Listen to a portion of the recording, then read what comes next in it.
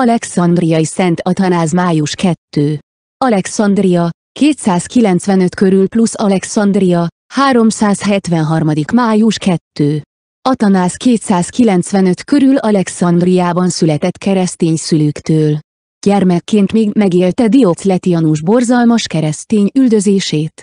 Ez adta jellemének azt a hajthatatlanságot és szilárdságot, amelyet később ellenfelei föl szoktak hánytorgatni.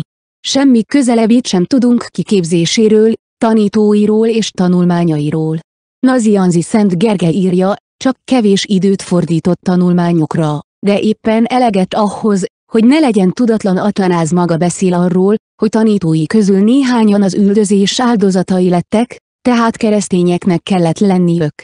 Diákonusként elkísérte püspökét, Sándor taniceai zsinatra, az egyház első egyetemes zsinatára, és látta az igaz higgyőzelmét Arius tanítása fölött. Lehetséges, hogy a kulisszák mögött szerepe volt a zsinaton fölmerült kérdések megoldásában. Mindenképpen Nicea emberének számított, aki egyértelműen azonosította magát az igaz hit ügyével. Ez azután a konfliktusok bonyolódásához és kiéleződéséhez járult hozzá. 328-ban meghalt Sándor püspök, és nem hagyott kétséget a felől, hogy Atanászt szeretné utódjául. Megválasztása nem történt ellenállás nélkül. Ifjúsága, jelleme, az ariánusokkal vívott harcban tanúsított nyílt állásfoglalása, mindez nem volt jó előjel. Egész további életében, 45 éven át neki kellett vezetnie ezt a harcot. Kezdetben a világi felsőbbség támogatásával, amikor azonban az elárulta az igaz hitet, annak ellenére. Még az ötszörös száműzetés sem tudta megtörni erejét és megingatni ellenállását. Az új püspök azzal kezdte működését, hogy a ninteai hitet megszilárdította hívei szívében. Végig látogatta egész egyházmegyéjét. Ezt az alkalmat használta föl, hogy találkozzék Pakhomiosszal, a Koinobita szerzetesség atyával. Pakhomiosz rendkívüli módon becsülte Atanászt, és a Krisztusba vetett igaz hitatjának nevezte. A harc 330-ban kezdődött. A püspök először keményen összetűzött Meletiosz követőivel, akik szakadást okoztak Alexandriában és környékén. Nem nagy szeretettel bánt velük. Egész életében nehéz feladat volt számára, hogy különbséget tegyen az emberek és az általuk képviselt vélemények között. Valamivel később Konstantin császár, központosító törekvései szellemében, fontosnak tartotta, hogy a pártok kibéküljenek. Kész volt Ariust újra kegyébe fogadni, ha új hitvallást tesz. Császári leirattal úgy rendelkezett, hogy Ariusnak újra meg kell engedni hivatali tevékenysége folytatását. Atanáz ezt kereken visszautasította. A császárnak küldött válaszlevelében így foglalt állást, nem lehetséges újra fölvenni az egyházba olyan embereket, akik ellene mondanak az igazságnak, tévtanítást terjesztenek, és akikre az egyetemes zsinat kimondta a kiközösítést ezután Alexandriában újra kezdődtek az áskálódások Atanáz ellen, még hozzá olyan mértékben, hogy a püspök jobbnak látta, ha elhagyja a várost, és eltűnik egy felső egyiptomi kolostorban. 335-ben a császár Jeruzsálembe zarándokolt. Atanász püspök ellenfelei ezt az alkalmat fölhasználták, hogy összehozzanak egy zsinatot Tirusban, abban a városban, melyet a császár érintett útja során. Az volt a céljuk, hogy felszámolják a nézeteltéréseket. Alexandria püspökét felszólították, hogy jelenjen meg a zsinat színe előtt. Atanász kelletlenül indult el, és közel 50 egyiptomi püspököd vitt magával. Ezeket azonban meg sem hallgatták, mivel nem voltak meghívva. A helyzet komoly volt, mert a jelenlevő püspökök jó része nem szívelhette Atanászt.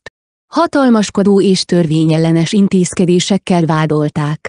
Amikor fölismerte a dolgok kedvezőtlen állását, elmenekült, míg mielőtt letételét kimondották volna. A rettenthetetlen püspök később Konstantinápolyban bukkant föl, meglepve a császárt a főváros egyik utcáján. Megmagyarázta a helyzetét, mire Konstantin hívatta a tíruszi zsinaton részt vett püspököket.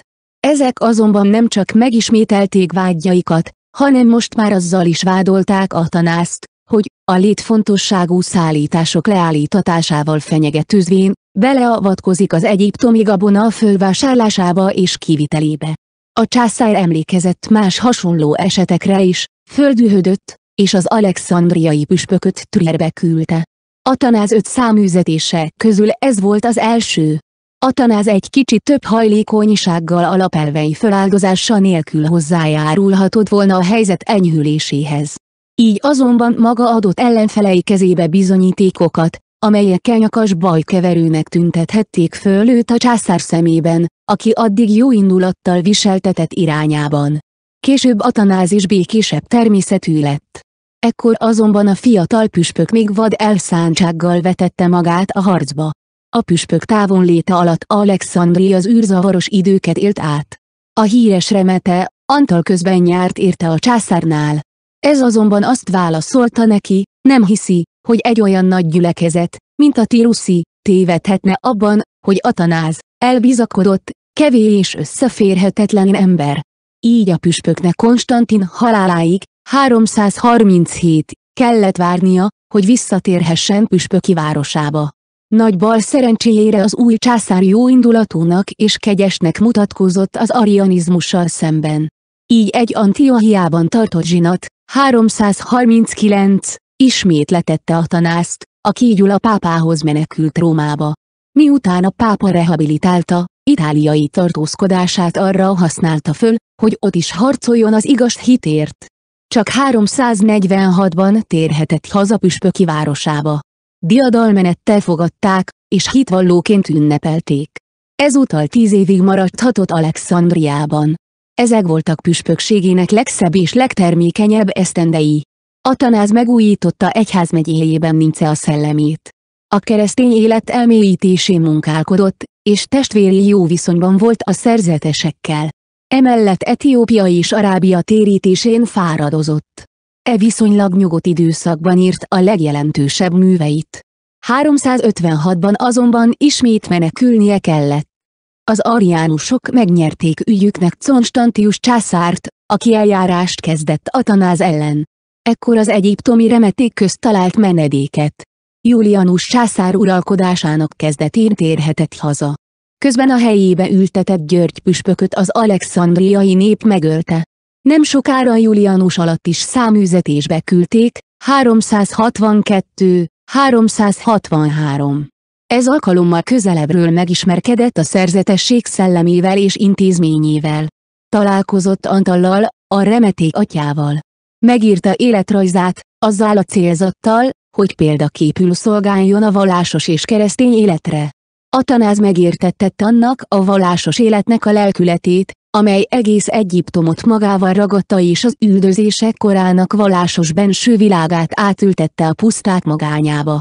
Szerzetes Itzelájából vigyázott egyházmegyéjére, megőrizte a niceai hitet, és Egyiptom láthatatlan pátriárkája maradt. Valens császár uralkodásának idején, 366-ban a tanáz újabb négy hónapos, de immár utolsó, száműzetésbe kényszerült. Ekkor szülei síremlékében húzódott meg. Ezután véglegesen hazatérhetett városába, és békében kormányozhatta egyházmegyéjét, amely haláláig hű maradt hozzá. Püspökségének 46 évéből 20 száműzetésben töltött. Amikor ez a rettenthetetlen harcos meghalt, az igaz hit még nem mindenütt élt, néhány év múlva azonban az új császár, Teodosius a niceai hitet minden alatt valójának kötelezővé tette. Ez lett a megkoronázása annak a harcnak, amelyet a nagy püspök tevékenységével és írásaival vezetett. Kortársai csodálták tetteinek szilárdságáért és határozottságáért. Tevékenységében sem visszavágások, sem bal sikerek nem tudták meggátolni. Ezért Atanászt a történelem, az egyház oszlopaként ünnepelte. Nagy érdeme, hogy fölismerte a konstantini béke jelentőségét és következményeit. De teljes egészében fölismerte azokat a veszélyeket is, amelyeket az államvallás a lélek szabadsága és a vallás számára magában rejt. A császárral és a politizáló teológusokkal szemben védelmezte azt a szilárd vallási alapvetést, amelyet Niceában meghirdettek. És harcolt azért, hogy az egyház hű maradjon sajátos küldetéséhez, az evangélium hirdetéséhez. Nehéz dolog ma igazságos ítéletet alkotni a tanázról és koráról. Epifanius ezt mondta a tanázról, rábeszélt, intett, erőszakot alkalmazott. Ha megtámadták, védekezett. Ha ő volt az erősebb, ellenfele nehéz órákat élt át. A félelmet nem ismerőknek az a gyengéjük, hogy nem tudják erejüket fölmérni, és ezért olykor elvétik a helyes mértéket. Atanázból hiányzott a szelítség és a gyöngítség. Az állandó harctól harciassá vált. Azáltal, hogy mindig újra megtámadták, hajlamos lett a maga védelmére. Mivel állandóan ütéseket kapott, végül maga is ütéseket osztogatott, mégpedig keményeket. Alexandria püspöke gyakran állt egyedül az ariánusokkal szemben.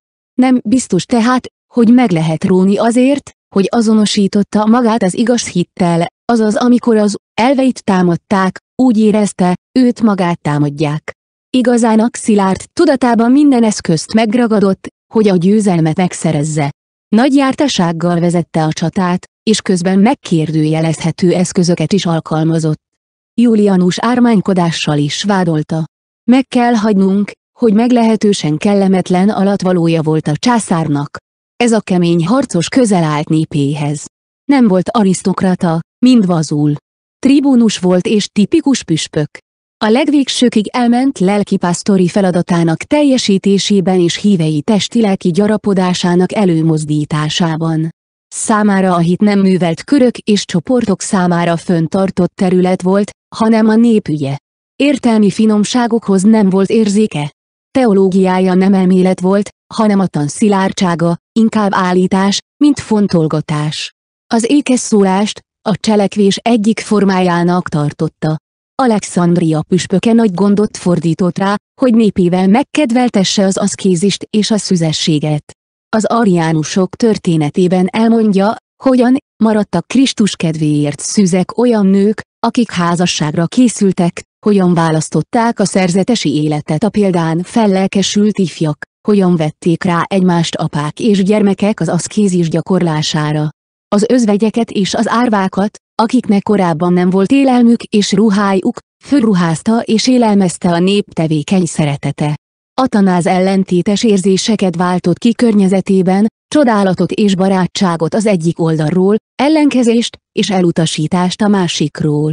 A nép és a szerzetesség megértette, hogy az ő oldalán áll az igazság és szavai igazak. Nem személyiségének varázsával hatott, hanem szenvedélyével. Meggyőzött, mert bizalmat tudott kelteni, ez volt ellenállhatatlan ékes szólásának a titka.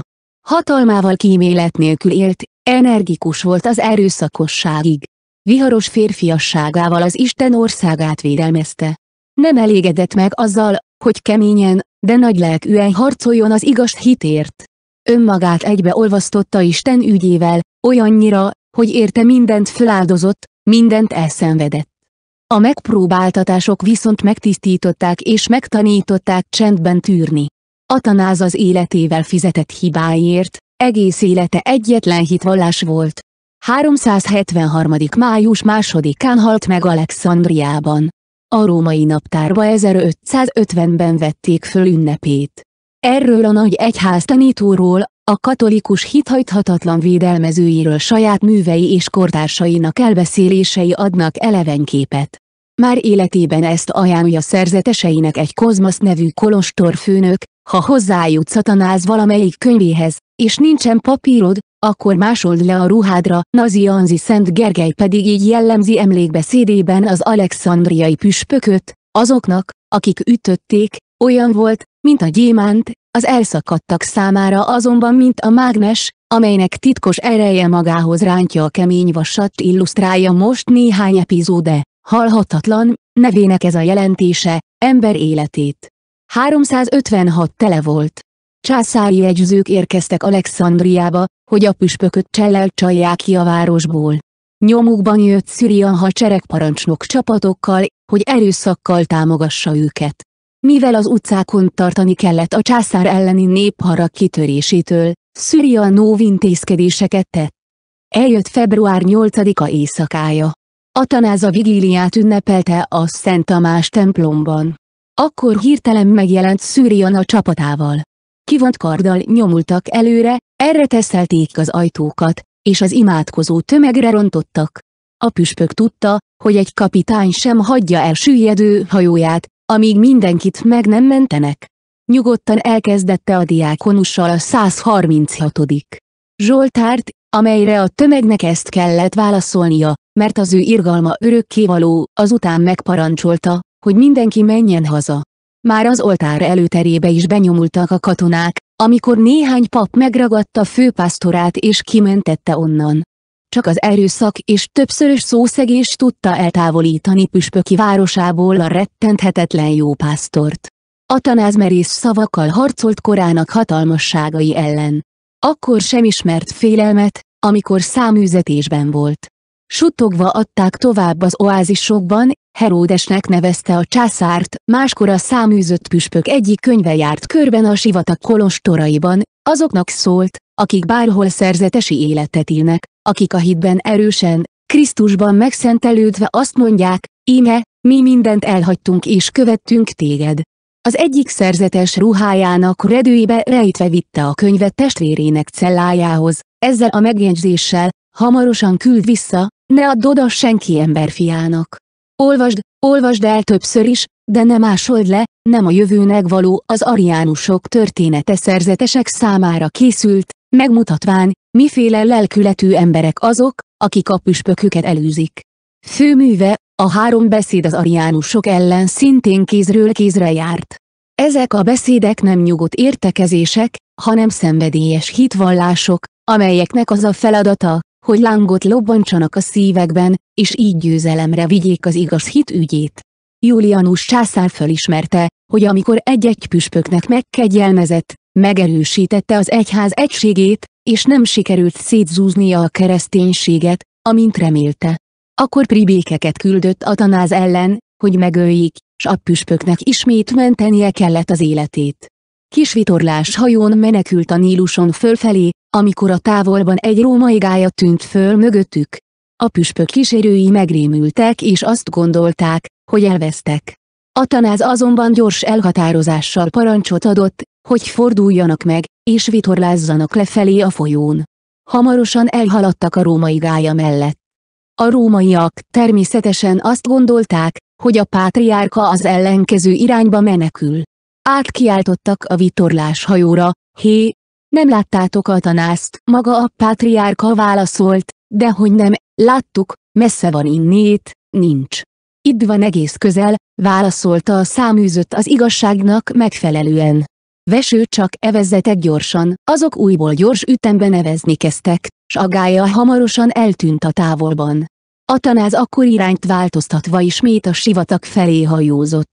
Később ismét visszatérhetett püspöki városába, néhány év múlva azonban újból elűzték. Akkor történt a következő eset, egy fiatal diákonus sietett végig a sötét éjszakában a város utcáin a temető felé, kezében halvány lámpa világított.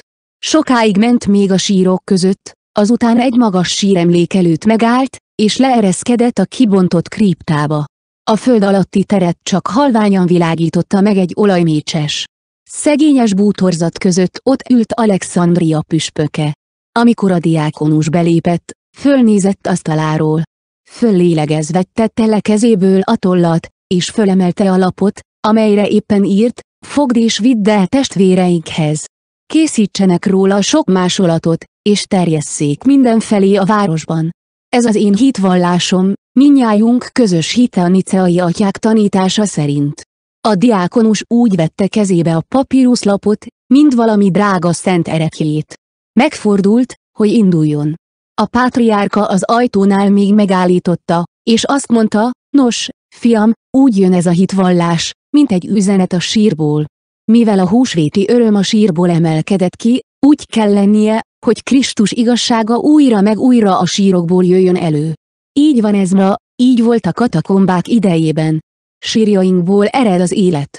És ez a hitvallás, amelyet kezedben tartasz, élni fog, és életet ad akkor is, amikor már csak a neve lesz meg az ariánusoknak, akik most azt gondolják, hogy övék a földkerekség.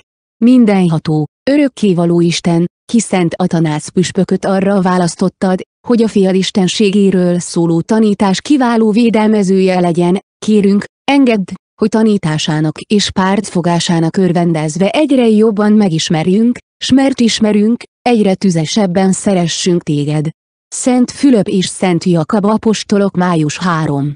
Mint a többi apostol esetében, az evangéliumok és az apostolok cselekedetei csak szűkösen beszélnek Fülöpről és Jakabról is. Mind a négy apostol névsor, MK 3,18 század, MT 10,3 tized, LK 6,14 század, Abcsel 1,13 század, megnevezi mindkettőjüket, Fülöpöt az ötödik, Jakabot, Alfeus fiát a kilencedik helyen. Szent János evangéliuma szerint 1,44 század. 12,21 század, Fülöp a két apostol testvérhez, Andráshoz és Péterhez hasonlóan a galileai tó mellől, Betszaidából származott. A meghívás elbeszélésén kívül Szent János még három alkalommal emlékezik meg róla, a kenyér szaporításnál, 6,5 saját kezűleg, Jeruzsálemben, amikor a pogányok látni akarták Jézust, 12,21 század, és az utolsó vacsora történetében, 14,8 Későbbi hagyomány szerint Fülöp három, profétai tehetséggel megáldott lányával együtt a kisázsiai Hierapolisban élt, ott is halt meg. Az apostolok cselekedeteinek elbeszélése szerint Pál Cézáreában vendége volt Fülöp evangelizáló diákonusnak, akinek volt négy profétáló leánya. Ha ez a hír megbízható, akkor Fülöp apostolt korán összetévesztették a hasonló nevű diákonussal. Az apostol egyébként a posztó és kalapkészítők védőszentje. Erekéi Konstantinápolyon át Rómába kerültek. A tizenkét apostol bazilikájában tisztelik. Jakabot, Alfeus fiát az apostolok név során kívül sehol sem említi meg az új szövetség.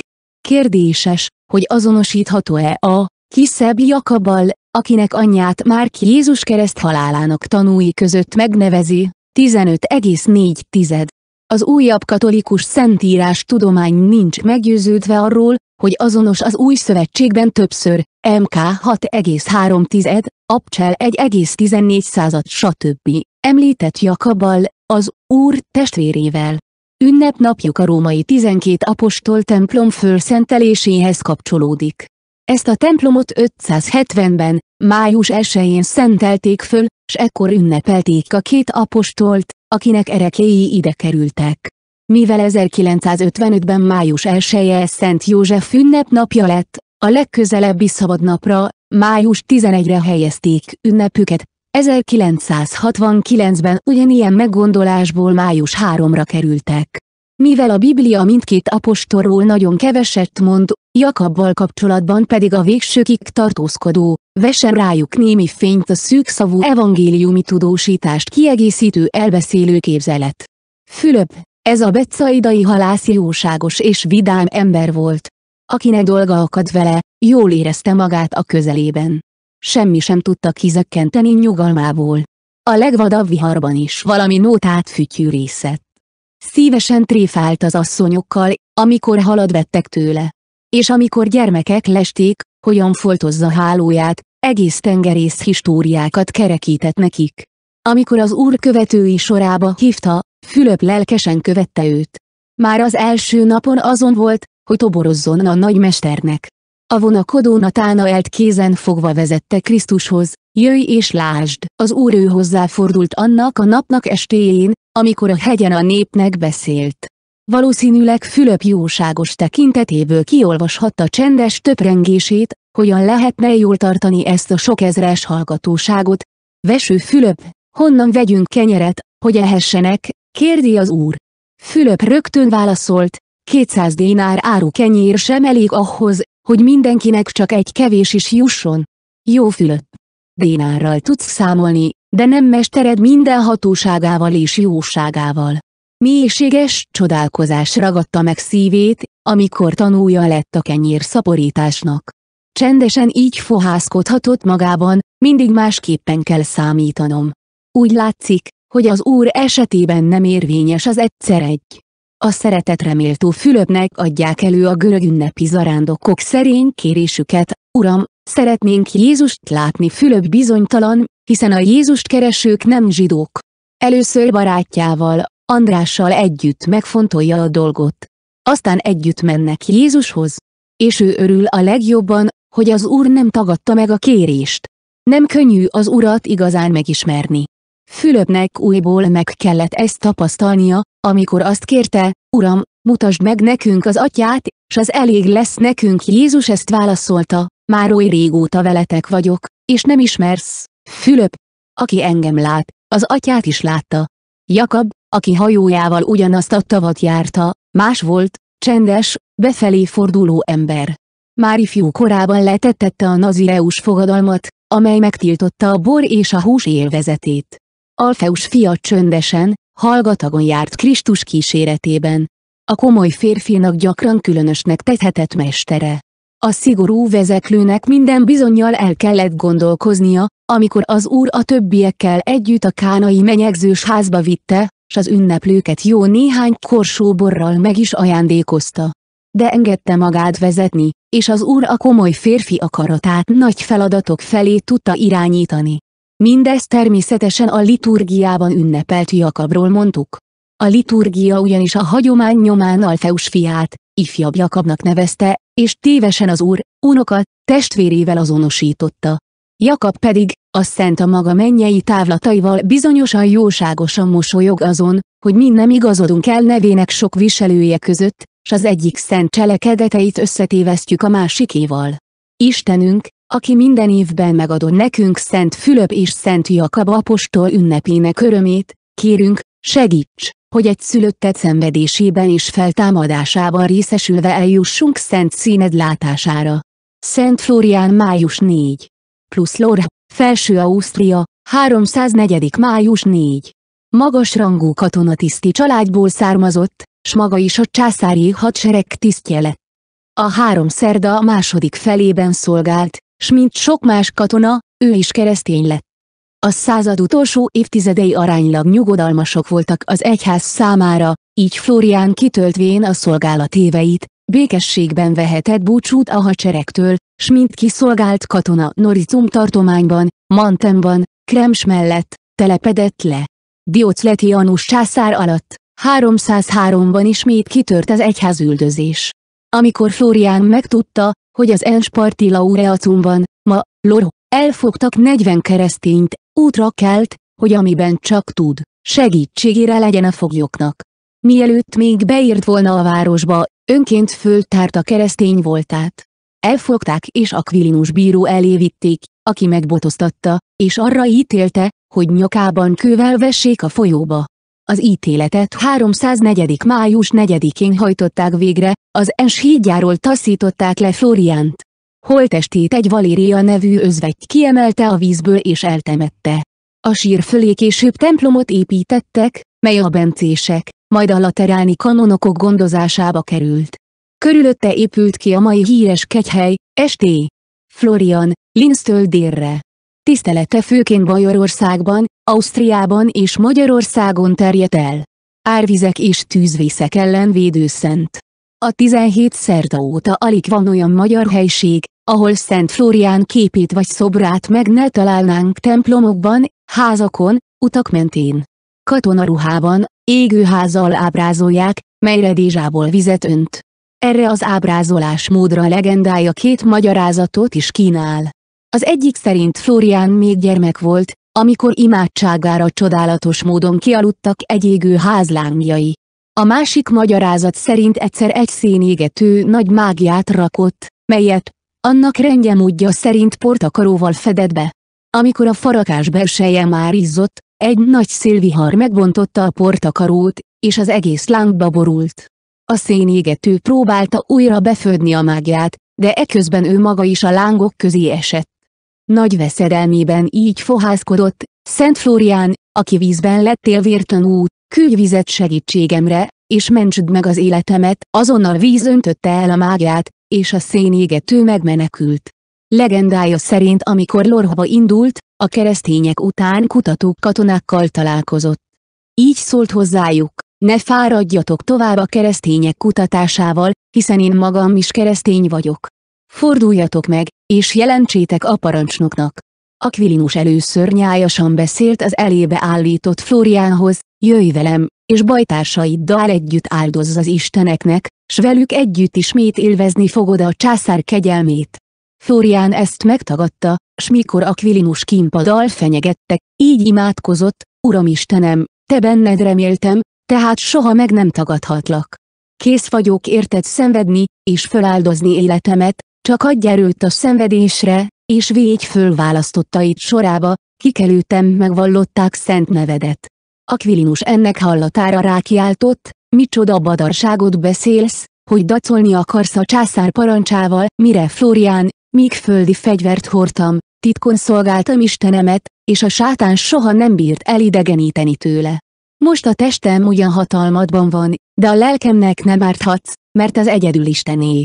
Engedelmeskedem parancsaidnak, amennyiben mint katona ezzel tartozom, de arra senki nem kényszeríthet, hogy bálványokat imádjak, miközben botozták, ezt mondta, tudd meg, semmiféle kínzástól nem félek. Gyújtass mágját, és én Jézus Krisztus nevében örömmel lépek rá. Íme, most áldozatot mutatok be Uramnak Istenemnek, aki megerősített, s ezen megtiszteltetésre méltatott engem. Egykori katonatársai vitték a kivégzésre. Megkötözték, követ kötöttek a nyakába, és fölállították a híd korlátjára, de egyikük sem merte a vízbe taszítani. Hosszú idő után jött egy fiatal katona, aki nem ismerte Floriánt, ő odaugrott és belelökte a folyóba.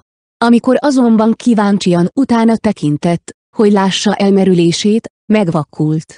Kérünk, Urunk, Szent Flórián érdemeiért és könyörgésére oltalmaz bennünket minden lelki és testi veszedelem, főként a tűz pusztításai és gonosz vágyaink lelket emésztő lángjai ellen. Boldog Gizella május 7.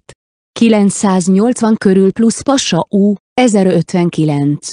A magyarok első koronás uralkodónője, Gizella Bajor hercegnő Henrik Bajor herceg és Gizella burgundiai hercegnő leánya volt 980 körül született, és Szent Wolfgang Bencés szerzetes gondos nevelésében részesült. Születésének évét többen 985-re teszik 996-ban eskedték azonban össze Istvánnal Sejjerben, Bajorország, s több forrás szerint ekkor már fejlett hajadon volt. Regensburgban az Aitek kapelle nevű, volt hercegi udvartemplom egy fal festménye ezt az eljegyzést ábrázolja, Gizella leendő férjénél csak nem egy fejjel magasabb. Eredetileg kolostorba akart lépni, szemlélődő hajlamú, vallásos lélek volt. Amikor Géza fejedelem fia számára megkérte kezét, mégis beleegyezett a házasságba. Erre elsősorban Szent Adalbert püspök bírta rá. Értésére adta, hogy jobban tetszik Istennek, ha közreműködik egy nép megtérésében, mintha kolostori elvonultságban él. Így Gizella lemondott a szemlélődő életről, és erős hitű hittérítőnő lett. A tervezett házasságot leghatározottabban nagynénye, Gerberga apáca főnöknő ellenezte. Helytelenítette, hogy törékeny unokahúgát politikai okok miatt veszélynek tegyék ki a barbár herceg oldalán. Hiába utaltak arra, hogy István már jó keresztény, és ígéretet tett egész népe megtérésére. Végül Henrik, hogy megismerjék, meghívta Istvánt Bajorországba, aki már az első találkozásnál lefegyverezte az apátnőt előkelő, udvarias és őszinte viselkedésével. De Gerberga, a krónikás szerint, még egy utolsó próba elé állította őt. Hosszú ideig halogatta a találkozást István és Gizella között. Azután úgy rendezte a dolgot, hogy István a kolostorkertben lássa meg először Gizellát, aki éppen térden állva imádkozott egy szobor előtt. Fölhívta rá István figyelmét, és kíváncsi volt, hogyan viselkedik a barbár. István félretette fegyverét, észrevétlenül Gizella mögé lopózott, meghajolt a szobor előtt, és mozdulatlan maradt, míg Gizella be nem fejezte ájtatosságát. Önuralmával Gerberga utolsó ellenállását is megtörte. Új hazájában Gizella azoknak a nagy európai nőknek a nyomdokába lépett, akik előmozdították a nyugat keresztényé tételét. Városa Veszprém volt. A Veszprémi püspök ettől kezdve a mindenkori magyar király négy ontható atya, és a koronázás alkalmával koronázó főpapja is volt. István a pápától kapta a koronát, a királynénak a magyarok készítettek. Gizella elsősorban városát igyekezett megszépíteni. Fölépítette a székes egyházat és alapított egy apát az árdát. Az Esztergomi és Somjóvásárhelyi zárda alapításában is közreműködött. Neki kellett az ország templomait egyházi felszerelésekkel ellátnia, Gizella nagyon szépen vart és hímzett. Már a koppány elleni csatához is készített két zászlót Istvánnak, Szent György és Szent Márton képeivel, a magyar koronázó palást is az ő keze munkája. István törvénye szerint a templomok liturgikus könyveit és kejheit a kellett beszerezni ők, de a miseruhákat és más fölszerelési tárgyakat a királyi udvar volt köteles rendelkezésükre bocsátani. Ennek gondját bízta a király Gizelára. A királynő valóságos, paramentum gyárat alapított városában, Veszprémben. Munkatársnői magyar és bajor udvarhölgyei, valamint a Veszprémi zárta apácái voltak. Maga is részt vett a munkában. Ha egy-egy templomnak az öt liturgikus színben csak egy-egy rendöltözetet juttatott is, az már 1500-2000 miseruhát jelentett. Nagyobb templomok azonban jóval többet is kaptak.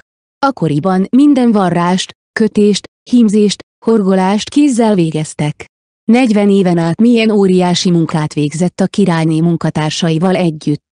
Utódainak is nyomdokába kellett lépni ők.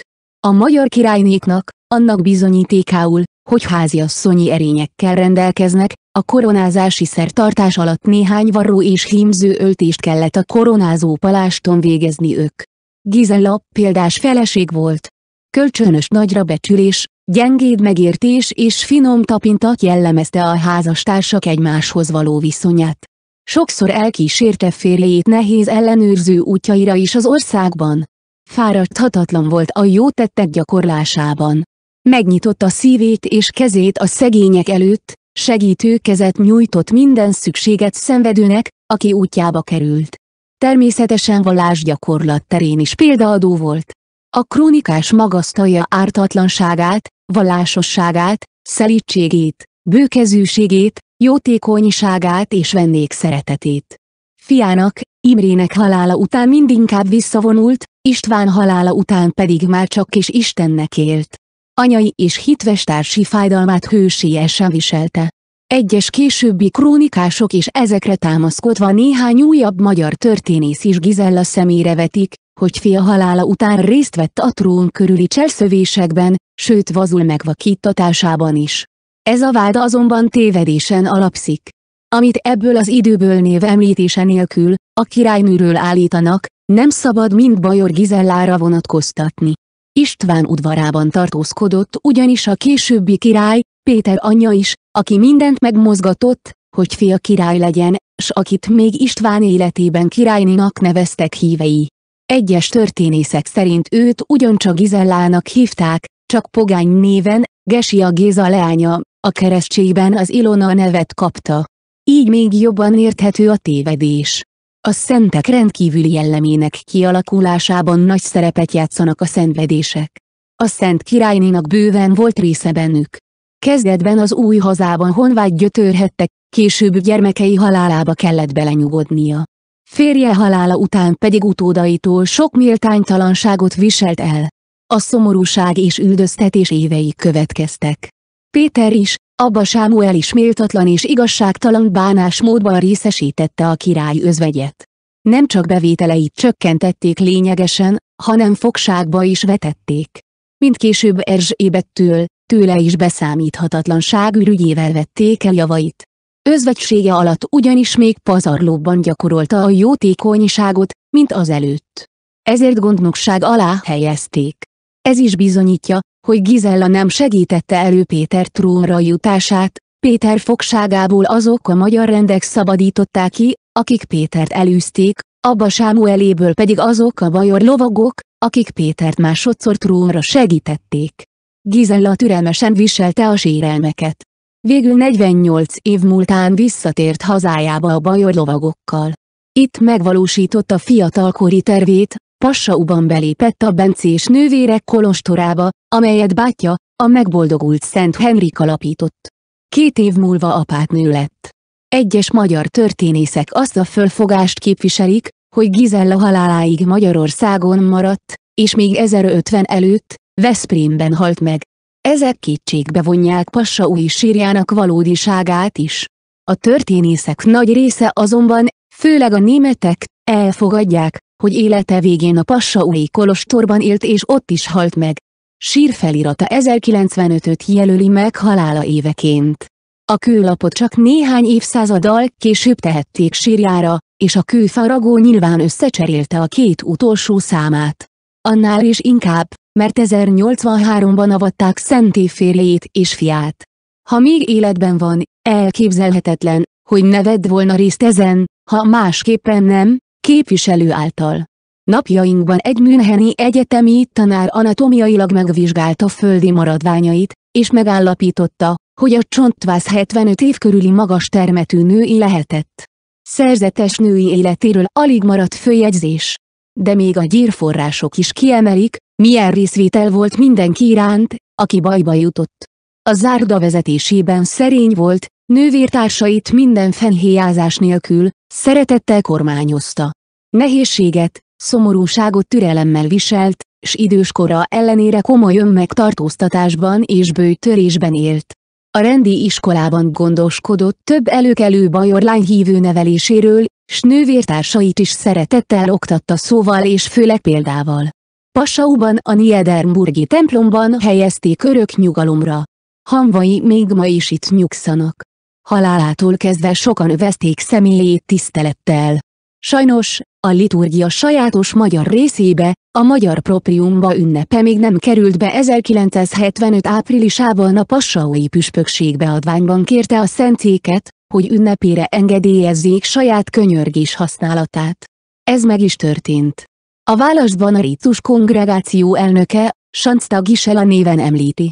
Kívánatos lenne, hogy hivatalos szentély nyilvánítása érdekében lépések történjenek 200 évvel ezelőtt Firmianus passaui püspök hajlandó lett volna Veszprémi kollégájának a királyné hambait teljesen átengedni, de a kedvezőtlen politikai események s a két püspök halála megakadályozták a terv keresztülvitelét. Talán még ma sem késő. Ideje, hogy a magyar nép első, szent életű királynénkat sajátjának tekintse hiszen 42 éven át élt közöttünk, s a magyar történelemnek egyetlen nő alakja sem tett annyit népünkért, mint ő.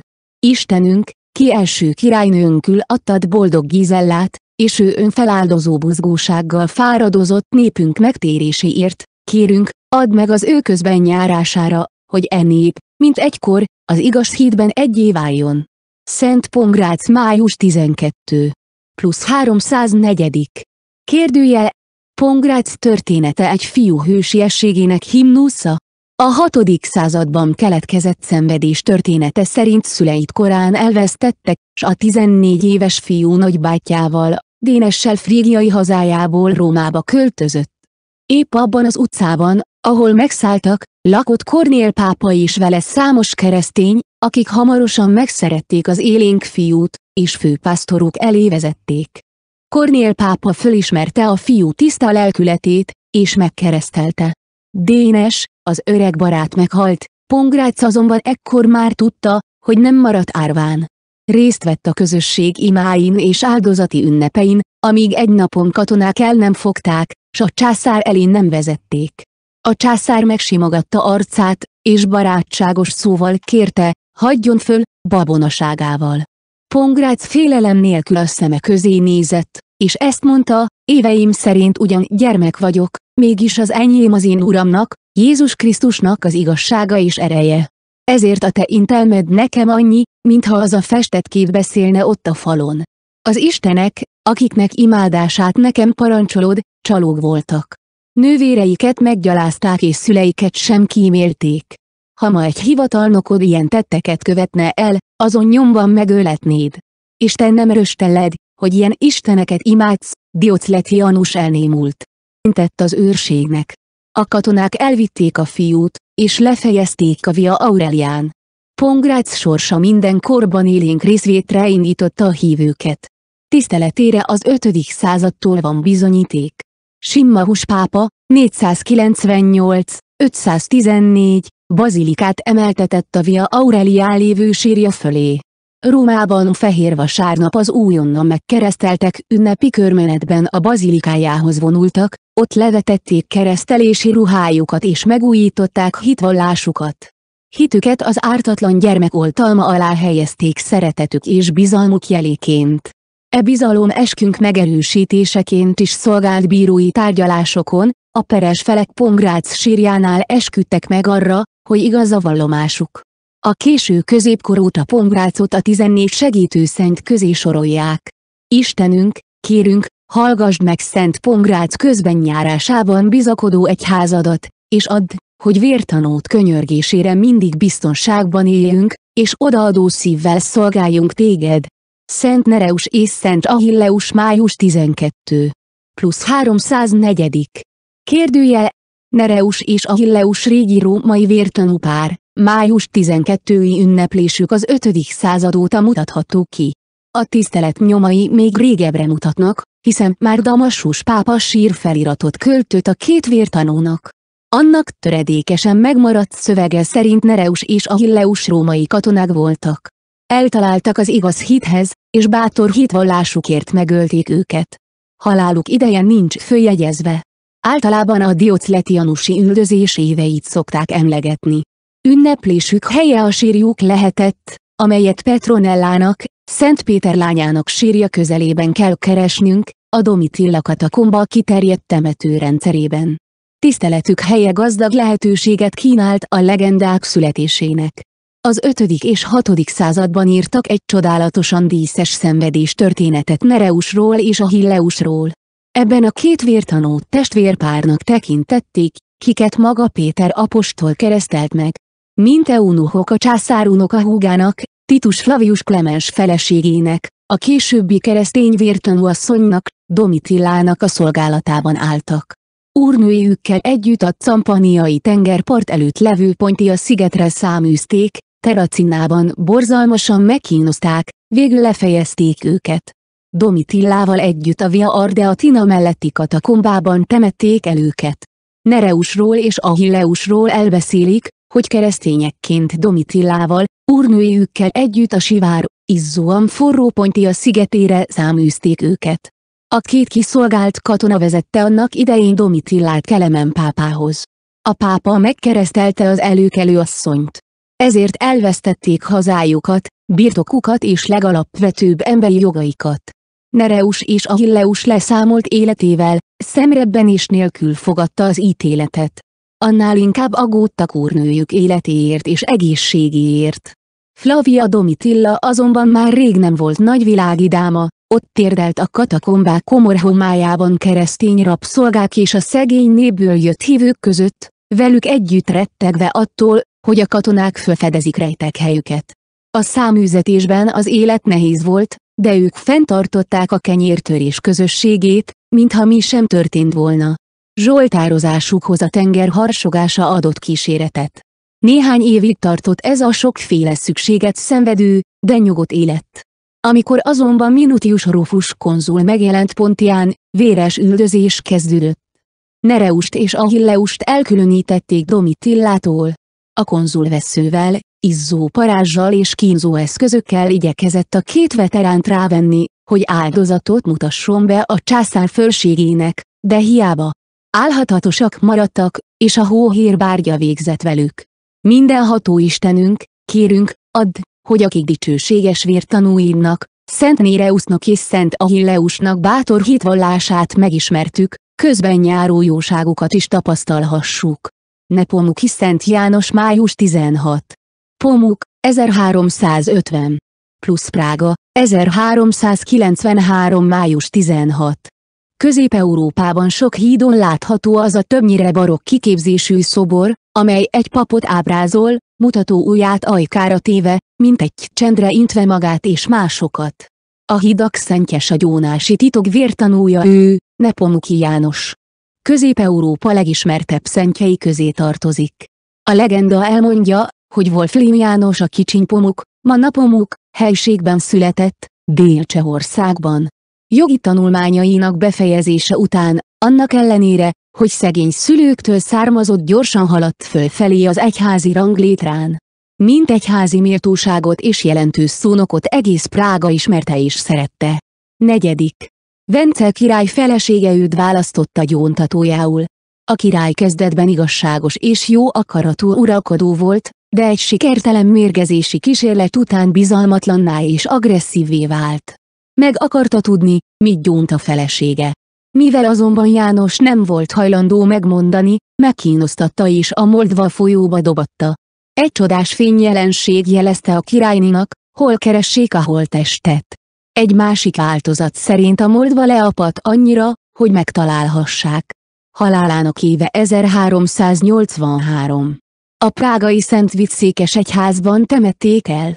A legenda elbeszéli még, hogy kénytelenek voltak sírját ráccsal elkeríteni, mert aki tisztességtelen szándékkal lépett síremlékéhez, azt Isten súlyos büntetéssel érte. Szenti avatási eljárását már a 16. században elkezdték, de csak 1729-ben fejezték be, miután az erekjék tisztelete a huszita mozgalom és a 30 éves háború ellenére is egyre nőtt. Nem sokkal a szenti avatás után megtalálták a vatikáni levéltárban az akkori érseknek, Jensenstein, vagy Jenstein, Jánosnak egy iratát, aki 1381-1396 között ült Prága érseki trónján. Panaszirat Ezvencel király ellen. Felsorolja részben az egyház jogait, részben az érsek birtokát és személyét illető túlkapásait. Felrója neki ezen kívül, hogy 1393-ban megkínosztatta és a Moldvába folytatta általános helynökét, Nepomuki Jánost. A gyilkosság oka egyházi jogokkal kapcsolatos nézeteltérés volt. Az általános helynök az érsek megbízásából, a király kifejezett akarata ellenére, jóvá hagyta Kladró kolostorában egy új apát megválasztását. Nepomuki Jánost, az egyház jogdoktorát és később az érsek általános helynökét 1372 óta számos prágai forrás emlegeti. Kínzatását és halálát, amelyet a király haragja okozott, aki állítólag még kínzásában is részt vett, nem csak Jensenstein levele említi. Megtalálható más forrásokban is, amelyek hamarosan az események után keletkeztek. Itt sehol sincs szó arról, hogy a szerencsétlen Pelátus a királyné gyóntatója lett volna. E források szerint inkább az egyházi jogaért halt vértanú halált. Ám az említett panaszos irat az érseket minden aszkézise és személyes jámborsága mellett olyan embernek jellemzi, akit nagyon, sőt túlságosan foglalkoztatott az egyház anyagi jóléte és saját tulajdona. Attól sem riad vissza, hogy a földi érdekek megvédésére minden fontolgatás nélkül alkalmazza az egyházi átkot. Innen nézve Nepomuki János megöletése fölháborító ugyan, de nem föltétlenül az Isten dicsőségét szolgáló vértanúság 19. és 20. századi történészek, akik megkísérelték az ügyet földeríteni, attól sem riadtak vissza, hogy Jámbor csalásról beszéljenek. Nem valószínű az a föltételezés, hogy egyszerre két hasonló nevű ember élt volna Prágában, s hogy közülük az egyiket mint a királyné gyóntatóját 1383-ban, a másikat pedig mint az érsek helynökét éppen tíz év múlva megölték. Ráadásul úgy, hogy mindkettőt a megkínzatás után Vencel király parancsára a Moldvába folytották 1383-ból semmiféle híradás sincs Vencel efféle büntettéről, viszont négy forrás is említi az általános helynök 1393 évi halálát. És nyilvánvaló az is, hogy mindig csak egyetlen sír volt a vicszékes egyházban. A sír felirat, amely az ott eltemetett Nepomuki János halálát 1383-ra teszi, csak a 16. század közepéről való, ezért nincs bizonyítékértéke. Ezért ma általában abból a föltevésből indulnak ki, hogy csak egyetlen Nepomuki János volt, aki a prágai érsek helynökeként ismételten összeütközésbe került Vencel királlyal és tanácsosaival. Végül az említett viszály miatt megölték. Nincs azonban magyarázat arra, hogyan lett a helynökből a király négy óntatója. A legendának ezt a lényeges részét sokan egyszerűen figyelmen kívül hagyják. A történelmi kutatásnak ez a legújabb állásfoglalása azonban mellőz egy fontos utalást, amely a legenda keletkezését sokkal közelebb viszi a történelmi tényekhez, mint azt először vélték. Thomas Ebendorfer von Haselbach többször volt a Bécsi Egyetem rektora, és az első humanisták közt tartják számon. Ez a tudós így ír császár krónikájában, Vencel a felesége gyóntatóját, Jánost, a teológia magiszterét is a Moldvába folytatta. Egyrészt azért, mert János kijelentette, hogy csak az méltó a király névre, aki jól kormányoz, másrészt azért, mert állítólag nem akarta megszegni a gyónási titkot Ebendorfer bizonyíthatóan hosszabb időt töltött Prágában 1433-ban, mindössze 40 évvel a történtek után. Ebben az időben is tudták tehát, hogy Nepomuki a király haragját vonta magára, mert szemrehányást tett neki kormányzása miatt. De ezen kívül élt a gyanú, hogy a királyné gyóntatójaként nem akarta megsérteni a gyónási titkot. A jámbor csalás ezek szerint közvetlenül az események megtörténte után kezdődött, úgyhogy csodálkozni lehet, miért nem leplezte le valaki már akkor. Vence szinte egy gyermekfővel, 19 évesen kötött házasságot a nála néhány évvel idősebb Wittelsbach Johannával. A legenda szerint ő Nepomuki lelki gyermeke volt. Mivel 1386-ban meghalt, a vértanúságot ez elé kell helyezni. Vencel azonban 1390-ben ismét nőül vett egy Wittelsbachi leányt, a több mint húsz évvel fiatalabb Zsófiát, akinek szépségét minden krónikás dicsőíti. Talán híresztelések keringtek Prágában arról, hogy Vencel féltékeny szép feleségére, és esetleg tényleg érdekelte, hogy mit gyónt. Honnan ered Vencel különös gyűlöleten Nepomuki ellen? A székes káptalan többi, vele együtt letartóztatott tagja túlélte a fogságot és a kínzatást. Az a vallásos mozgalom, amely Husz János föllépése óta terjedt Csehföldön, szintén hozzájárulhatott Nepomuki Szent János tiszteletének kialakulásához. Mert Vencel is második felesége, Zsófia, támogatta az újító Huszt. Ezért többen azt állítják, hogy Nepomuki tiszteletét és szenti avatását úgy kell tekintenünk, mint tudatos támadást a huszitizmus ellen. A tudósok vitatkozása ellenére Nepomuki János szobra még mindig ott áll a prágai Károly hídon és sok egyéb helyen. Úját ajkára illesztve megőrzi saját titkát is.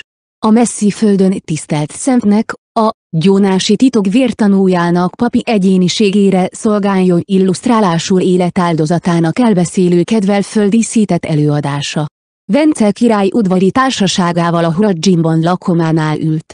Hirtelen minnyájan megdermedtek, mert uruk dühötten tört ki magából, és a szakácsért kiáltott. Úgy látta, rosszul van megsütve a kappan, amit fogyasztani akart. Dühösen megparancsolta, hogy magát a szakácsot húzzák tüstént nyársra, és süssék meg, jobban, mint ő a kappant. Rémületében senki sem merészkedett ellent mondani a szeszélyes királynak. Akkor fölállt János kanonok, a királyné szónoka és gyóntatója, a király lába elé esett, és nyomatékosan kérte, hogy vonja vissza a parancsát, uram, királyom, üzent meg a hóhérnak, hogy csak tréfáltál. Vencel haragja újra fölobbant, és megparancsolta az őrségnek, hogy vessék a papot sötét börtönbe. János sokáig ült a rabságban. A király meg akarta törni, mert már többször merészelt neki ellent mondani, és visszautasítani a királyi kívánságokat. Most itt volt a várt alkalom. Néhány nap múlva hívatta a király, János nagy csodálkozására barátságosan fogadta. Veső kedves barátom, mosolygott a király, sajnálom, hogy olyan gorombán bántam veled. De hát mi ütött beléd, hogy az összegyűlt udvari nép előtt ellent mondj nekem. Nos, hagyjuk a dolgot. Egyébként azért hívattalak, hogy megmondjam, püspöki széket szánok neked vagy a visehrádi prépostságot. Tudod, hogy ezzel a hivatallal együtt jár az örökös királyi kancellári cím és évi százezer arany jövedelem. Veső meglepsz, fönséges uram, mondta a kanonok, de, nem, ne ellenkezz, ne Pomuki János. Meg tudom én jutalmazni az érdemet. Egyébként jelentették nekem, hogy a feleségem gyakran gyón nálad, és csak hosszú idő után távozik onnan. Agódom érte, egy darabig hallgatott a király, majd folytatta, talán tudsz nekem valami fölvilágosítást adni, hogy miről van szó az ilyen hosszú gyónások alkalmával. Veső mindenben engedelmeskedem neked, ahol az bűn nélkül lehetséges, válaszolta a pap, de a gyónási titok pecsétjének megőrzése rám nézve kötelező, és nem tűri a legkisebb sérelmet sem. Veső tud meg, János úr, jött indulatba Vencel, hogy az én országomban csak egy olyan pecsét van, amelyel törődöm, az enyém. Ki vele hát, mi tudsz? Titoktartásom felől biztos lehetsz. Veső egy papnak erre csak egyetlen felelete van, nem, és ezerszer is nem, tiltakozott a kanonok fölháborodva. Veső de ha a király parancsolja, sziszegte Vencel, és a harag pírja öntötte el arcát. Veső Isten akkor is tiltja. Jánost ismét visszavitték a börtönbe. Kimondhatatlan kínokat kellett a hűhít vallónak kiállnia a torony mélyén. A király még egyszer rátámadt. Ígéreteket tett, fenyegetett, ütött, sőt a megkínzott testét maga sütögette égő fákjával. Végül a király dühöngve így kiáltott, reszkes, te, pap. Ha nem mondasz el rögtön mindent, amit a királyné meggyúnt, Istenemre mondom, hogy vizet kell nyelned. János válasza változatlan maradt, a pap, akinek Isten zárta be a száját, örökké hallgatni fog. Az érseknek a pápához intézett hiteles jelentése e szavakkal végződik, helynökömnek az oldalát oly súlyosan összeégették, hogy erőszakos halál nélkül is bele kellett volna halnia. Azután a tiszteletre méltó János doktort teljes nyilvánosság mellett a város útjain és utcáin át a Moldvához vonszolták.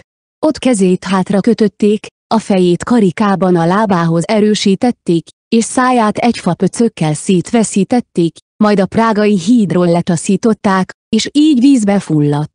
Istenünk, Kinnepomuki Szent Jánost a gyónási titok megtartásáért a vértanúság koronájával ékesítetted, kérünk, közben nyárására ad meg, hogy példája szerint élvezhessük azok boldogságát, akik szavukkal soha nem vétettek.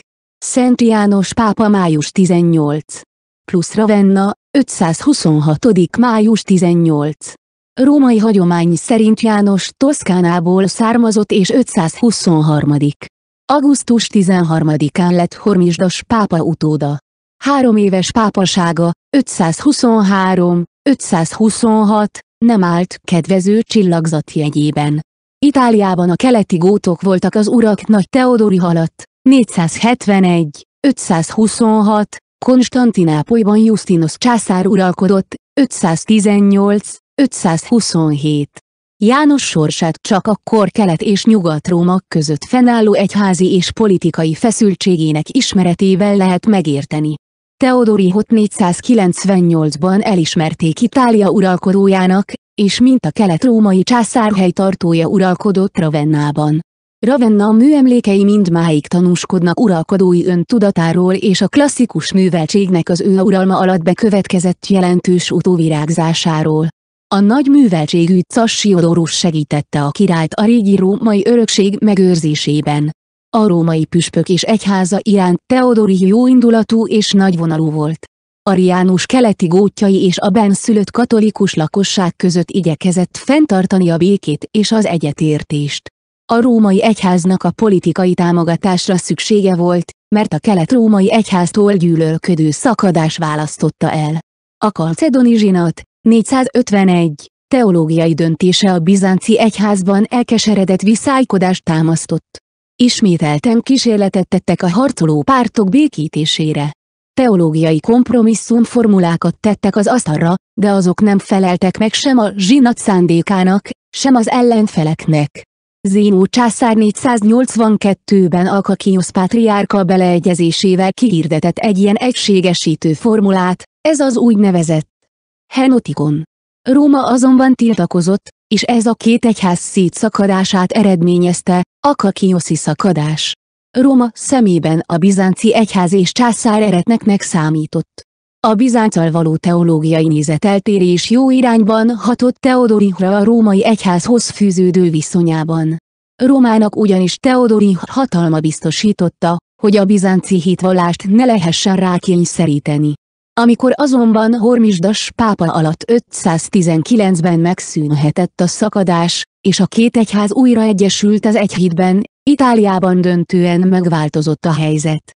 A római hagyománynak megfelelően inkább kedvelték a kelet-római császárt, mint a keleti gót Teodorihot. Teodorih nagyra törőtt terveket szőtt egy nyugat-római germán állam alapításáról. Ennek állt volna útjában és meghiúsulását jelentette volna, ha sikerül kiterjeszteni a kelet-római befolyást más germán államokra, például Sigismund király Burgundiájára vagy az észak-afrikai vandálokra. Ilyen körülmények között a kelet-római birodalommal való rokonszent vagy barátság felségárulás számba ment. A király hosszú éveken át legbizalmasabb embere, a politikus és filozófus Bothius ennek a gyanúnak esett áldozatául 524-ben. A császári politika zottságát hamarosan megérezte első János római püspök is. Teodoriha gótok szószólójának tartotta magát Bizánci területen is, ahol Justinus császár felújította a régi római eretnek törvényt, és 524-ben az ariánus gótok ellen fordult. Ez kényszer megtérésekhez vezetett. Az ariánusoktól elvették templomaikat, és katolikus istentiszteleti célokra használták őket. Félő volt, hogy a császár és Teodori versengése vallásháborúba csap át. Ebben a feszült helyzetben Teodori Róma püspökét tette meg a bizánci udvarba menesztett egyik küldöttség vezetőjének. A katolikus főpásztornak kellett az ariánus gótok érdekében közben járnia és a császárt kártérítésre fölszólítania. Elutazása előtt János Ravenában ezt mondta a királynak, tedd hamarosan, amit tenni akarsz. Szilárdan állok előtted. Nem ígérem neked, hogy megteszem, amit kívánsz. Nem fogok a császárnak ilyet mondani. Jánost a keleti útra politikai parancs kényszerítette, amely szinte lehetetlent kívánt tőle. Ez volt az első pápai utazás a bizánci udvarba. Két évszázadon át kényszerültek ezután római pápák, többnyire kritikus helyzetekben és megalázó körülmények között, erre a tengeri útra.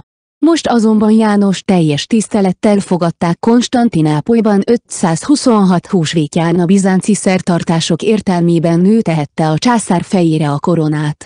Küldetésében, amelyet maga sem tudott egész szívvel vállalni, természetesen nem érhetett el teljes sikert. A keleti útországban a katolikusok ellen kilátásba helyezett megtorlások tanácsossá tették, hogy a császár megígérje az ariánus templomok visszaadását. A kényszer megtérések visszavonását azonban nem biztosították. Biztos, hogy a pápa nem is erőltette Teodori Heck követelését. Teodori számára tehát üres kézzel tér vissza a pápa Itáliába.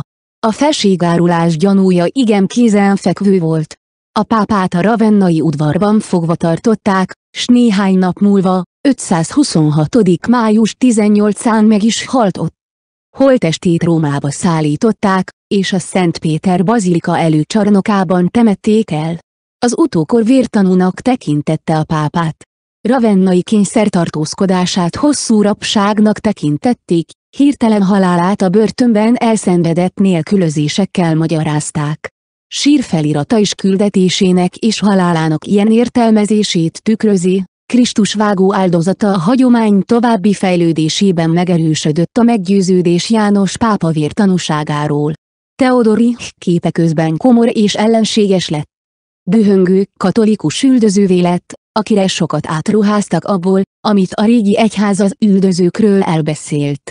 Nagy Szent Gergely elmondja egy remete látomását, amelyben János pápa és a Teodori által megöletett római Simmahus a gót királyt egy vulkán kráterébe taszította, dialógus negyedik, 30. Az így értelmezett történetben a pápa egyoldalúan az egyházi szabadság állhatatos védelmezője lett, aki azonban elbukik a világi hatalom túlerejével szemben. A szentek tiszteletében János így típusa lett az egyházi férfinak, aki csak szenvedve tud győzni, Ünnepét a 12. században vették föl a római naptárba, május 27-re, amikor a Szent Péter bazilikában történt temetésére emlékeztek 1969-ben áthelyezték halála napjára. A Szent Pápáról, akit a későbbi egyház, Krisztus vágó áldozata névvel tisztelt meg, nem sok személyes és egyéniségére jellemző esetet ismerünk, inkább csak történeti eseményeket. Egy legendásan kibővített elbeszélés elmondja, hogyan érkezett meg a Boszporusz melléki császárvárosba. Amikor elterjedt Konstantinápolyban a pápa és küldöttsége érkezésének a híre, az ünnepi ruhába öltözött nép több órányi járásra elébe ment. Ünnepélyes körmenetben, keresztel, lobogókkal és égő gyertyákkal fogadták Róma püspökét. Nyilvános ünnep és általános öröm kísérte érkezését. Mindenki a magas vendég áldását várta. A császár maga is kiment elébe udvarával együtt, leborult előtte, és rendkívüli tiszteletadásban részesítette. János az úgynevezett aranykapun vonult be a városba. A kapu évei alatt egy vág borult le előtte. Arra kérte, hogy Krisztus helytartójaként segítse szeme világához, ahogyan Krisztus is megtette ezt. János megérintette a vak szemét, keresztet vetett rá, és az rögtön látott. Istenünk, hívő lelkek oltalmazója, ki ezt a napot Szent János pápa vértanúságával szentelted meg, kérünk, hallgasd meg népet könyörgését, és engedd, hogy akik tiszteljük őt, hitének álhatatosságában követhessük. Sziénai Szent Bernardin május 20. Massa, Sziéna mellett, 1380. Plusz Aquila, 1444 május 20. Bernardin Massa Marittimában, Sziéna közelében született ugyanabban az évben, amelyben Sziénai Szent Katalin meghalt. Családja gazdag volt, apja egy bányát vezetett, de Bernardin még nem volt egészen négy éves, amikor szüleit elvesztette. Az árván maradt egyetlen gyermeket Sziénai rokonok vették magukhoz, s így lett e város Bernardin hazája. A Sziénai Egyetemen tanult. Barátságos természetéért és apjától örökölt birtoka nagyvonalú kezeléséért igen kedvelték. Amikor húsz éves lett, kitört Szénában a Pest is. A gazdagok vidéki birtokaikra menekültek, Bernardin azonban ott maradt a városban. Ő maga nem írt jelentést a pestisről, a város levéltára azonban megörökítette akkori tetteit. Eközben a pestis őt is megfertőzte. Halálos betegen olyan ismeretekre tett szert a lélek dolgairól, amilyeneket csak érett emberek szoktak elnyerni sok fáradozás és csalódás árán. Ám Bernardin visszanyerte egészségét. Vagyonát szétosztotta a szegények között, és 1402-ben fölvételét kérte egy minorita kolostorba. A pestises betegek szolgálata és betegsége indította arra, hogy Krisztus követésének e formáját válassza Szent Ferenc fiai között. Kevéssel utóbb az obszervánsokhoz, a franciskánus rend legszigorúbb ágához csatlakozott. 1404-ben pappá szentelték. Utána hosszú ideig egy magányos kolostorban élt, fenn a hegyek között. Egy véletlen esemény emelte ki a csendből a nyilvánosság fényébe. Egy hitszónokuk hirtelen megbetegedett, és Bernardinnak kellett kisegítenie. Ez a beszéde olyan mély benyomást keltett, hogy a nép viharosan követelte Milánói nagybőti szónoknak. Attól fogva, 1417, diadalmenetben járta be Itáliát. Isten üzenetének hirdetője erősebb volt, mint a herceg a maga sok katonájával, erősebb, mint Velence vagy Bologna magisztrátusa. A jogtudósoknak és a jogtekerőknek ez a városa, ahol megtanulják, hogyan kell a jogot kijátszani, és a jogtalanságból jogot csinálni, lett az a harcmező, ahol Bernardin bátran kimondta az igazságot. Ugyanígy tett a velencei doge előtt is, hiszen nem élvezte annak sem hűbéradományát, sem pártfogását, sem támogatását. Bernardin csak Isten előtt érezte magát felelősnek. A keresztes hagyáratok nyomán kibontakozó korai kapitalizmus nem csak pénzt hozott Itáliába, hanem nyomorúságot is. Bernardin, születésénél fogva gazdagon, de saját akaratából szegényen, az assisi szegény fiaként élvezte a szegények és a jogfosztottak bizalmát, de képes volt a hatalmasokat is megindítani. Foglyokat szabadított ki, súlyos adósságok elengedését sikerült elérnie. Szükség esetén magát ajánlotta díjul. De ami még többet jelent, Istenhez tudta vezetni az embereket. Házasságtörők új életet kezdtek, nyilvános bűnösök visszatértek az egyházba, szegények és árvák fölvételt nyertek ispotályokba, háborúk és viszálykodások szűntek meg, rend és nyugalom vonult a falvakba és a városokba. Veső olyan volt, mintha tavasz köszöntöd volna a világra, jelentik a krónikák. Áldásos működése közben Bernardinnak óriási csalódást kellett megélnie. Rágalmazók följelentették Rómában. V. Márton pápa maga elé idézte és eltiltotta a további prédikálástól.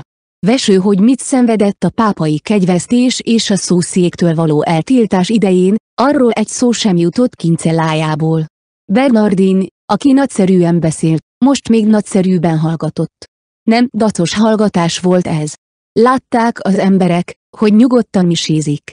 A zsoltárokban gyakorta előforduló inikvitas, igazságtalanság, szó keserűség nélkül hagyta el Lajkát, jól lehet a megalázott és megbántott ártatlanság, a szószék utáni vágy végtelenül kínoszta.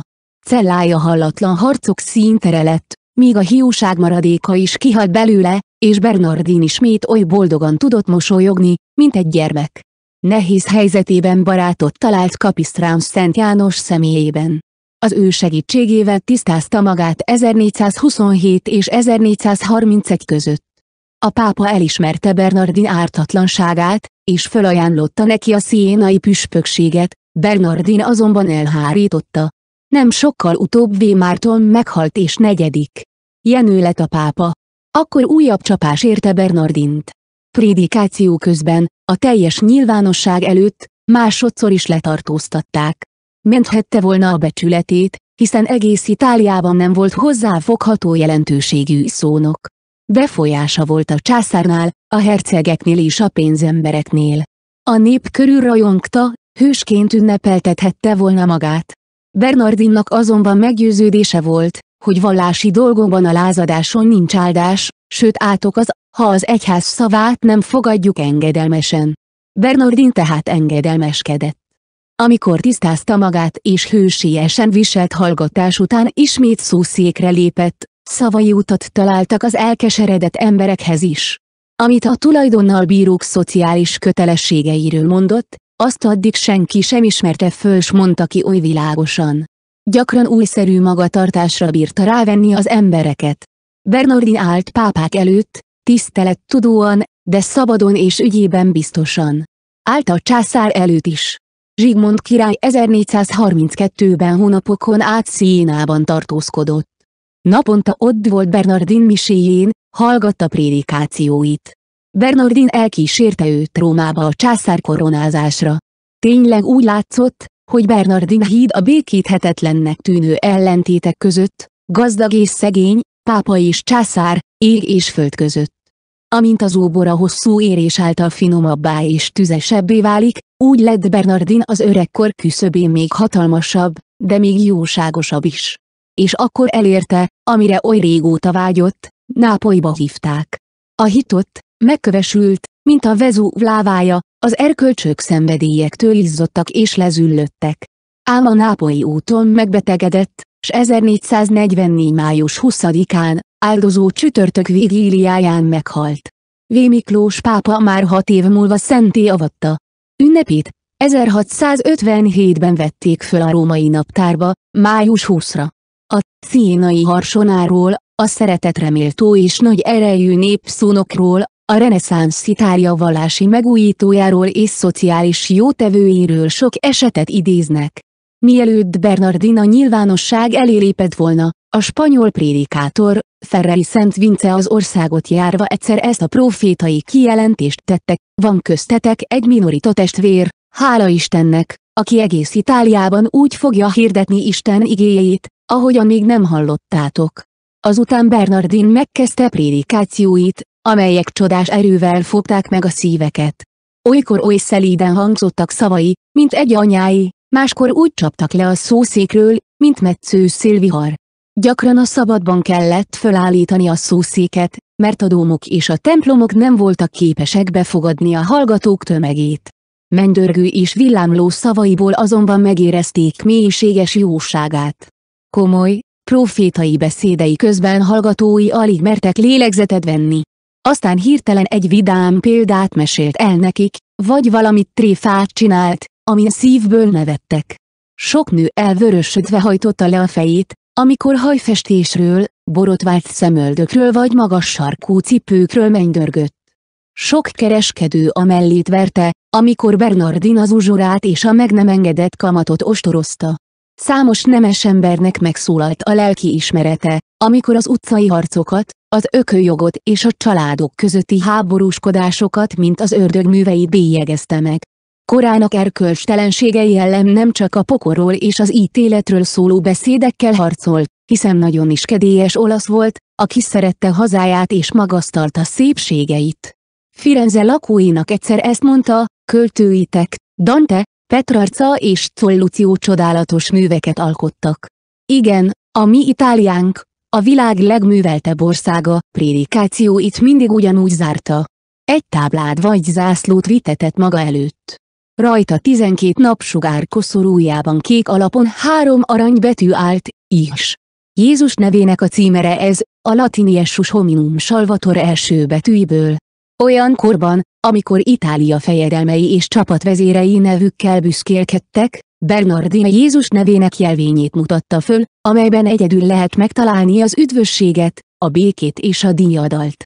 Előfordult, hogy hallgatói összetörték saját jelvényeiket, és Jézusét tették föl házukra.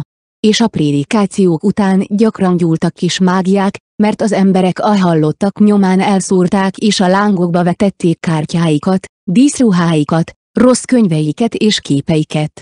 Egy napon Visconti Milánói herceg, akinek a szószékről kemény szavak a szemére hányta kevénységét és kegyetlenségét, egy kejhet ajándékozott Bernardinnak, színülték telve aranypénzzel. Az ajándékkal akarta elhallgattatni a kellemetlen leckésztetőt. Ő elfogadta a pénzt, nagyszámú szerencsétlen foglyot kiváltott rajta, és másnap ismét a herceg ellen szónokolt. Visconti tombolva utasította ki a városból, de Bernardin hamarosan visszatért. Krema kis helység Milánó közelében. Lakosainak egy részét elűzték otthonukból, mivel eladósodtak. Házaikat azonnal kifosztották kapzsi szomszédaik. Bernardin odament, prédikált és tanácskozást hívott össze. Minden házért, minden emberért külön harcolt. És sikerrel. Az előzöttek visszamehettek, az uzsorakalmatot, ami az eladósodás oka volt, visszavonták.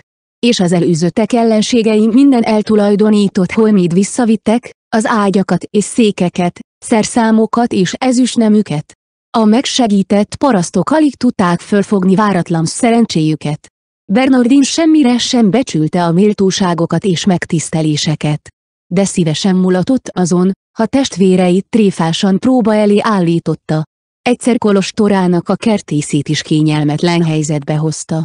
A kolostor zöldséges kertjében találkozik a testvérrel, és azt mondja neki, ó, Angeluccio testvér, püspökké akarnak tenni engem erre a testvér, atyám, húzd szorosabbra magadon a kordát, és ne egyez bele rövid hallgatás után, Angeluccio testvér, érsekké akarnak tenni engem a kertész testvér fölegyenesedik, mit akar ez jelenteni?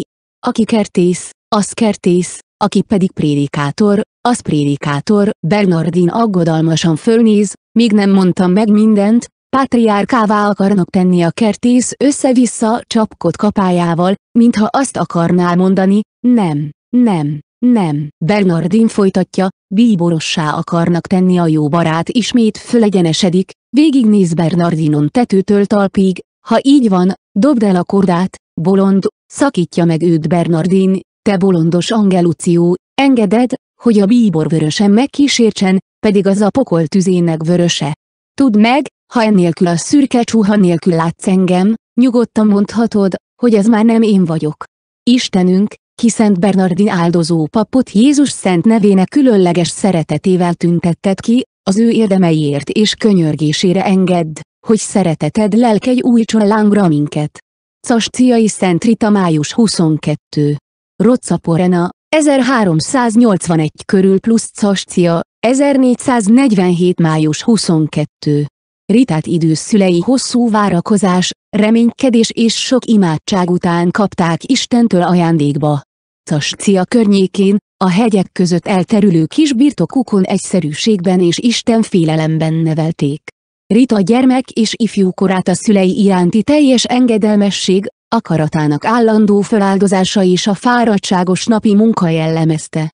Közben azonban szívében fölgyulladt az Isten szeretet, és apáca akart lenni, hogy teljesen egyé válhasson Isteni megváltójával, aki jelenléte édességének megéreztetésével mindannyiszor megajándékozta őt, valahányszor szülei engedélyével visszavonulhatott a házukban kialakított kicsiny helyre. Szülei, valószínűleg kényszerhelyzetben, oda ígérték a kezét egy helybeli ifjúnak, aki a kortársak szerint vad és erőszakos ember volt. Ritának nagyon fiatalon férjhez kellett tehát mennie. Férje rossz természetét hősies türelemmel viselte, soha nem panaszkodott. Mindenben engedelmeskedett hitvesének, azzal az egy föltétellel, hogy a templomba eljárhat. Szelítségével és jóságával végül is férje rossz természetét sikerült legyőznie, és lelkét Istenhez vezetnie. Megtérésének együtt örült Ritával az egész falu, Roccaporena, mert korábban a férj összeférhetetlensége miatt sokat szenvedett a pártoskodásoktól és viszálykodásoktól. Idős szülei halála után újabb gyász érte Ritát, előbb meghalt a férje, aki most már tisztelte és szerette őt, egy régi ellensége ölte meg bosszúból. Majd egy évre rá meghalt Rita két kicsi fia, akikért úgy imádkozott, hogy az úr vegye őket magához, mielőtt még az atyuk halála miatti bosszú beszennyezni lelküket. Miután sok fájdalom árán eloldottak e földi kötelékek, Rita hozzáfoghatott régi vágyának beteljesítéséhez, kolostorba léphetett.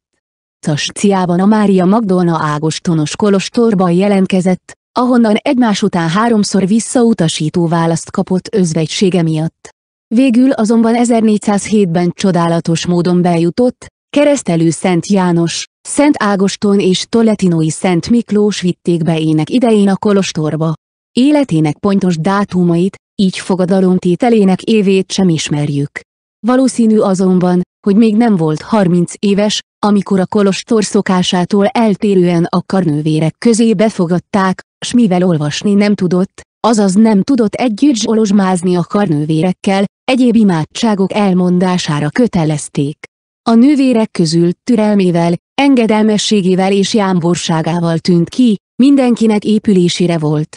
Különös tisztelettel elmélkedett Krisztus szenvedéséről, s arra vágyott, hogy osztozhasson a megfeszített Krisztus kínjaiban. Egy napon, amikor a feszület előtt térdelt, és vágya beteljesülését kérte, érezte, hogy a tövis korona egy tövise a homlokába fúródik.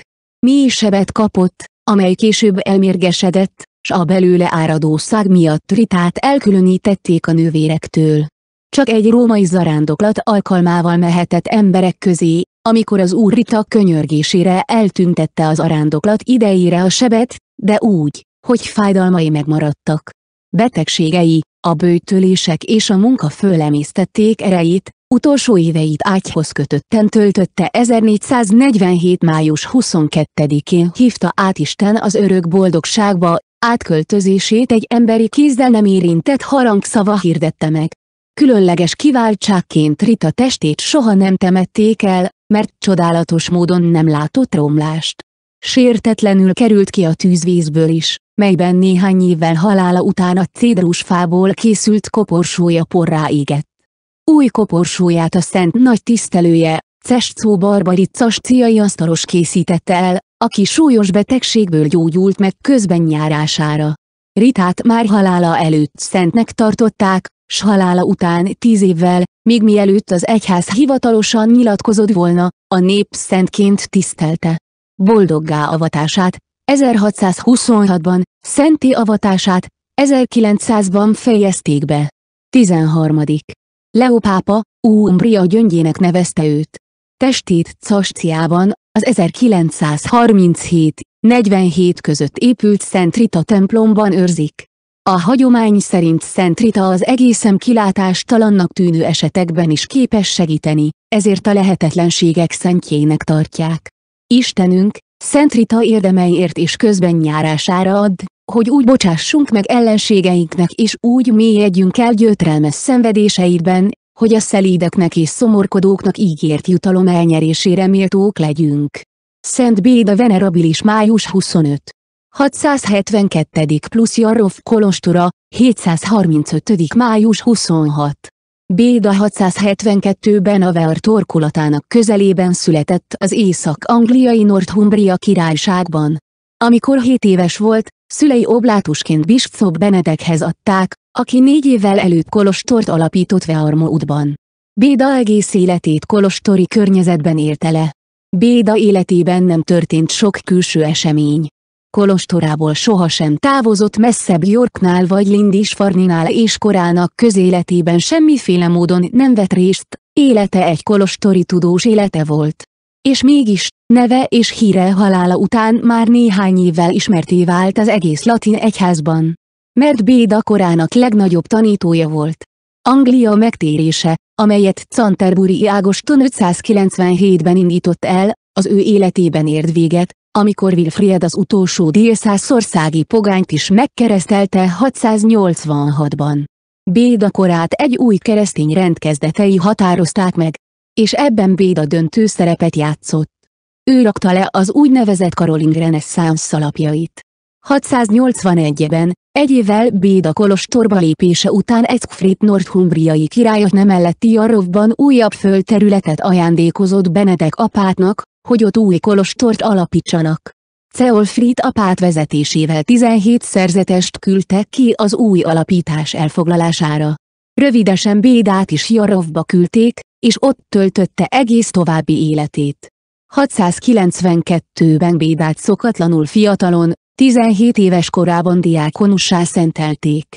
Tanulmányairól keveset tudunk. De Jarovnak nagyszerű könyvtára volt és neves tanítókkal is rendelkezett. Bédának korán meg kellett kezdenie tanári és írói tevékenységét. A kolostori iskolában tanított. Legkorábbi írásai tanítványai számára készültek, egy nyelvtan, valamint egy helyes írási és verselési tankönyv. Természettudományi tanulmányokat folytatott és írt földrajzi és csillagászati munkákat is. Mindenek előtt azonban azzal foglalkozott, hogy megírja hazája megtérésének történetét, az első angol szentek, továbbá versben Szent Cuthibert és a Kolostor első apátjainak életrajzát. Bédát 703-ban szentelték pappá. Nem sokára megbízták, hogy tanítványait készítse föl a papi hivatásra. E célból kezdte írni Szentírás kommentárját. Hírneve az egész középkor folyamán ehhez a munkához kapcsolódott. Béda kiválóan alkalmas volt e feladatra. Birtokolta a szükséges nyelvismeretet, nagy volt az olvasottsága, legfőképpen pedig rendelkezésére állt egy gazdag és jól összeválogatott könyvtár, melyet Biscop Benedek apát sok évi türelmes munkával hozott létre. Béda közel 30 éven át a Szentírás tanulmányozásának és tanításának élt. Kritikusai nem egyszer azt állították, hogy teológiai műveiből hiányzik az eredetiség. Így azonban csak az beszélhet, aki teljesen félreérti szándékát. Béda elsősorban azért írt, hogy növendékeit tanítsa és hogy nemzedékének tagjaival megismertesse a keresztény ókor tudásanyagát. E didaktikai szempontot szem előtt tartva gondosan ügyelt arra, hogy az olvasóval közölje ismereteinek forrásait. Kortársainak és a későbbi nemzedékeknek széles utat nyitott az egyházatják tanításához. Bonifác távoli missziós területről, Germániából levélben kért barátjától, Bédától egy-egy példányt a saját, illetve tanítványa, Egbert homiliáiból, hogy prédikációira készülvén használhassa azokat. Béda szentírási kommentárja figyelemre méltó alkotás, de még érdekesebb munkája Anglia egyház története, amelyet 731-ben zárt le, s akkor a középkori tudományosság hatalmas emléke. Nagy részt tőle származik mindaz, amit az angolok korai történetéről tudunk. Fölvázolja benne Anglia történetét Julius Caesar partra szállásától, K.R. 55. saját koráig. Érezhető büszkeséggel számol be arról, hogyan vonult be a kereszténység az országba. Béda történelem ábrázolását mai szemmel is tudományosnak minősíthetjük. A korábbi korokból származó források megbízhatóságát gondosan megvizsgálta. Amikor szóbeli hagyományra vagy mondákra támaszkodik, mindig fölhívja rá a figyelmet. Nyelve világos és egyszerű. Az előadást átszövi azoknak a férfiaknak a vázlatos arcképe, akik Anglia megtérésében a főszerepet játszották. Ilyenek, Gergely pápa, Aidon és a szentéletű Oswald király, James diákonus és Cuthobert. Találhatók benne anekdoták Nagy Szent Gergelyről és a római angol szászrabokról, Ca Egmorról, a költőpásztorról, Coifiról, a pogány papról és az Edwin király palotájában tartott gyűlésről. Ezek az angol történelem legismertebb anekdotái közé tartoznak. Joggal viseli Béda, az angol történetírás atya megtisztelő címet. De ez a kolostori tudós élénk érdeklődést tanúsított Northumbria akkori egyháza iránt is. Látta, hogy sürgősen reformra volna szükség. Halála előtt egy évvel egykori tanítványának, Egbertnek, aki akkor Yorki püspök volt, írt egy levelet, melyben sok mindenre kitért. Ebben intette, hogy ne hanyagolja el kötelességét a rendszeres vizitáció és prédikáció terén. Azt tanácsolta neki, hívjon össze zsinatot és készítse elő a túlságosan nagy egyházmegye felosztását. Rámutatott arra, hogy már sok kolostor van az országban. Sok közülük csak nevében kolostor, mert gazdag emberek csak azért alapították őket, hogy elnyerjék azokat a privilégiumokat, amelyeket azok a birtokok élveztek, amelyek Isten tiszteleti célokat szolgáltak. Arra is fölhívta a püspök figyelmét, hogy a nép fokozódó mértékben elhanyagolja a szentségek vételét. Szorgalmazta, hogy prédikáljon a mindennapi áldozás gyakorlatáról, amint az a kontinensen és a római egyházban szokásos. Amikor Béda ezt a levelet írta, már beteg volt. Életének utolsó napján még a János evangélium fordításával foglalkozott. Amikor a szerzetesek könyörgő körmenetben a templomba vonultak, másnap áldozó csütörtök vigíliája volt, Béda celájában maradt, mert az utolsó fejezeten dolgozott. Este, mivel érezte végének közelettét, a kolostor papjait celájába hívta. Szétosztotta köztük csekékes személyes holmiát, pár szem borsot, néhány késtörlőt, kevés tömléjént. Azután kivitték cellája elé a folyosóra. Innen láthatta helyét a kóruson. Áldozó csütörtökön halt meg, 735-ben. Bédát Jarovban temették el. A 14. században maradványait a Durhami székesegyházban Cuthaber csontjai mellé helyezték. Később Béda koporsóját a székesegyház nyugati felében lévő Galilea kápolnába vitték. Sírja ma is itt látható. 1899-ben 13. Leo pápa Béda ünnepét az egész egyházra kiterjesztettek, és egyház tanítónak nyilvánította őt. Igazán illő cím annak a férfinak, akiről földie, Szent Bonifác azt mondta, hogy az egyház fényessége, amelyet maga a Szentlélek gyújtott. Ünnepét 1899-ben vették föl a római naptárba, május 27-re 1969-ben áthelyezték május 25-re. Béda venerabilisról, akit Nevman, a Bencés rend virágának nevezett, legjobban saját művei vagy tanítványainak főjegyzései vallanak. Minden esetre ennek a kolostori tudósnak az életében nem a külső események voltak előtérben, sokkal inkább mindenre kiterjedő szellemének gondolatai. Ő maga ezt írja életéről, a kolostor birtokán születtem, és amikor hét éves voltam, családom először főtisztelendő Benedek apátra, majd később Ceolfrit apátra bízott nevelés és kiképzés céljából. Egész további életemet ebben a kolostorban töltöttem el. Teljesen a Szentírás tanulmányozásának adtam magam, miközben a regula szabályai szerint éltem és nap mint nap részt vettem a karban az oficiumon. Különös örömöm mindig a tanulás, a tanítás és az írás volt.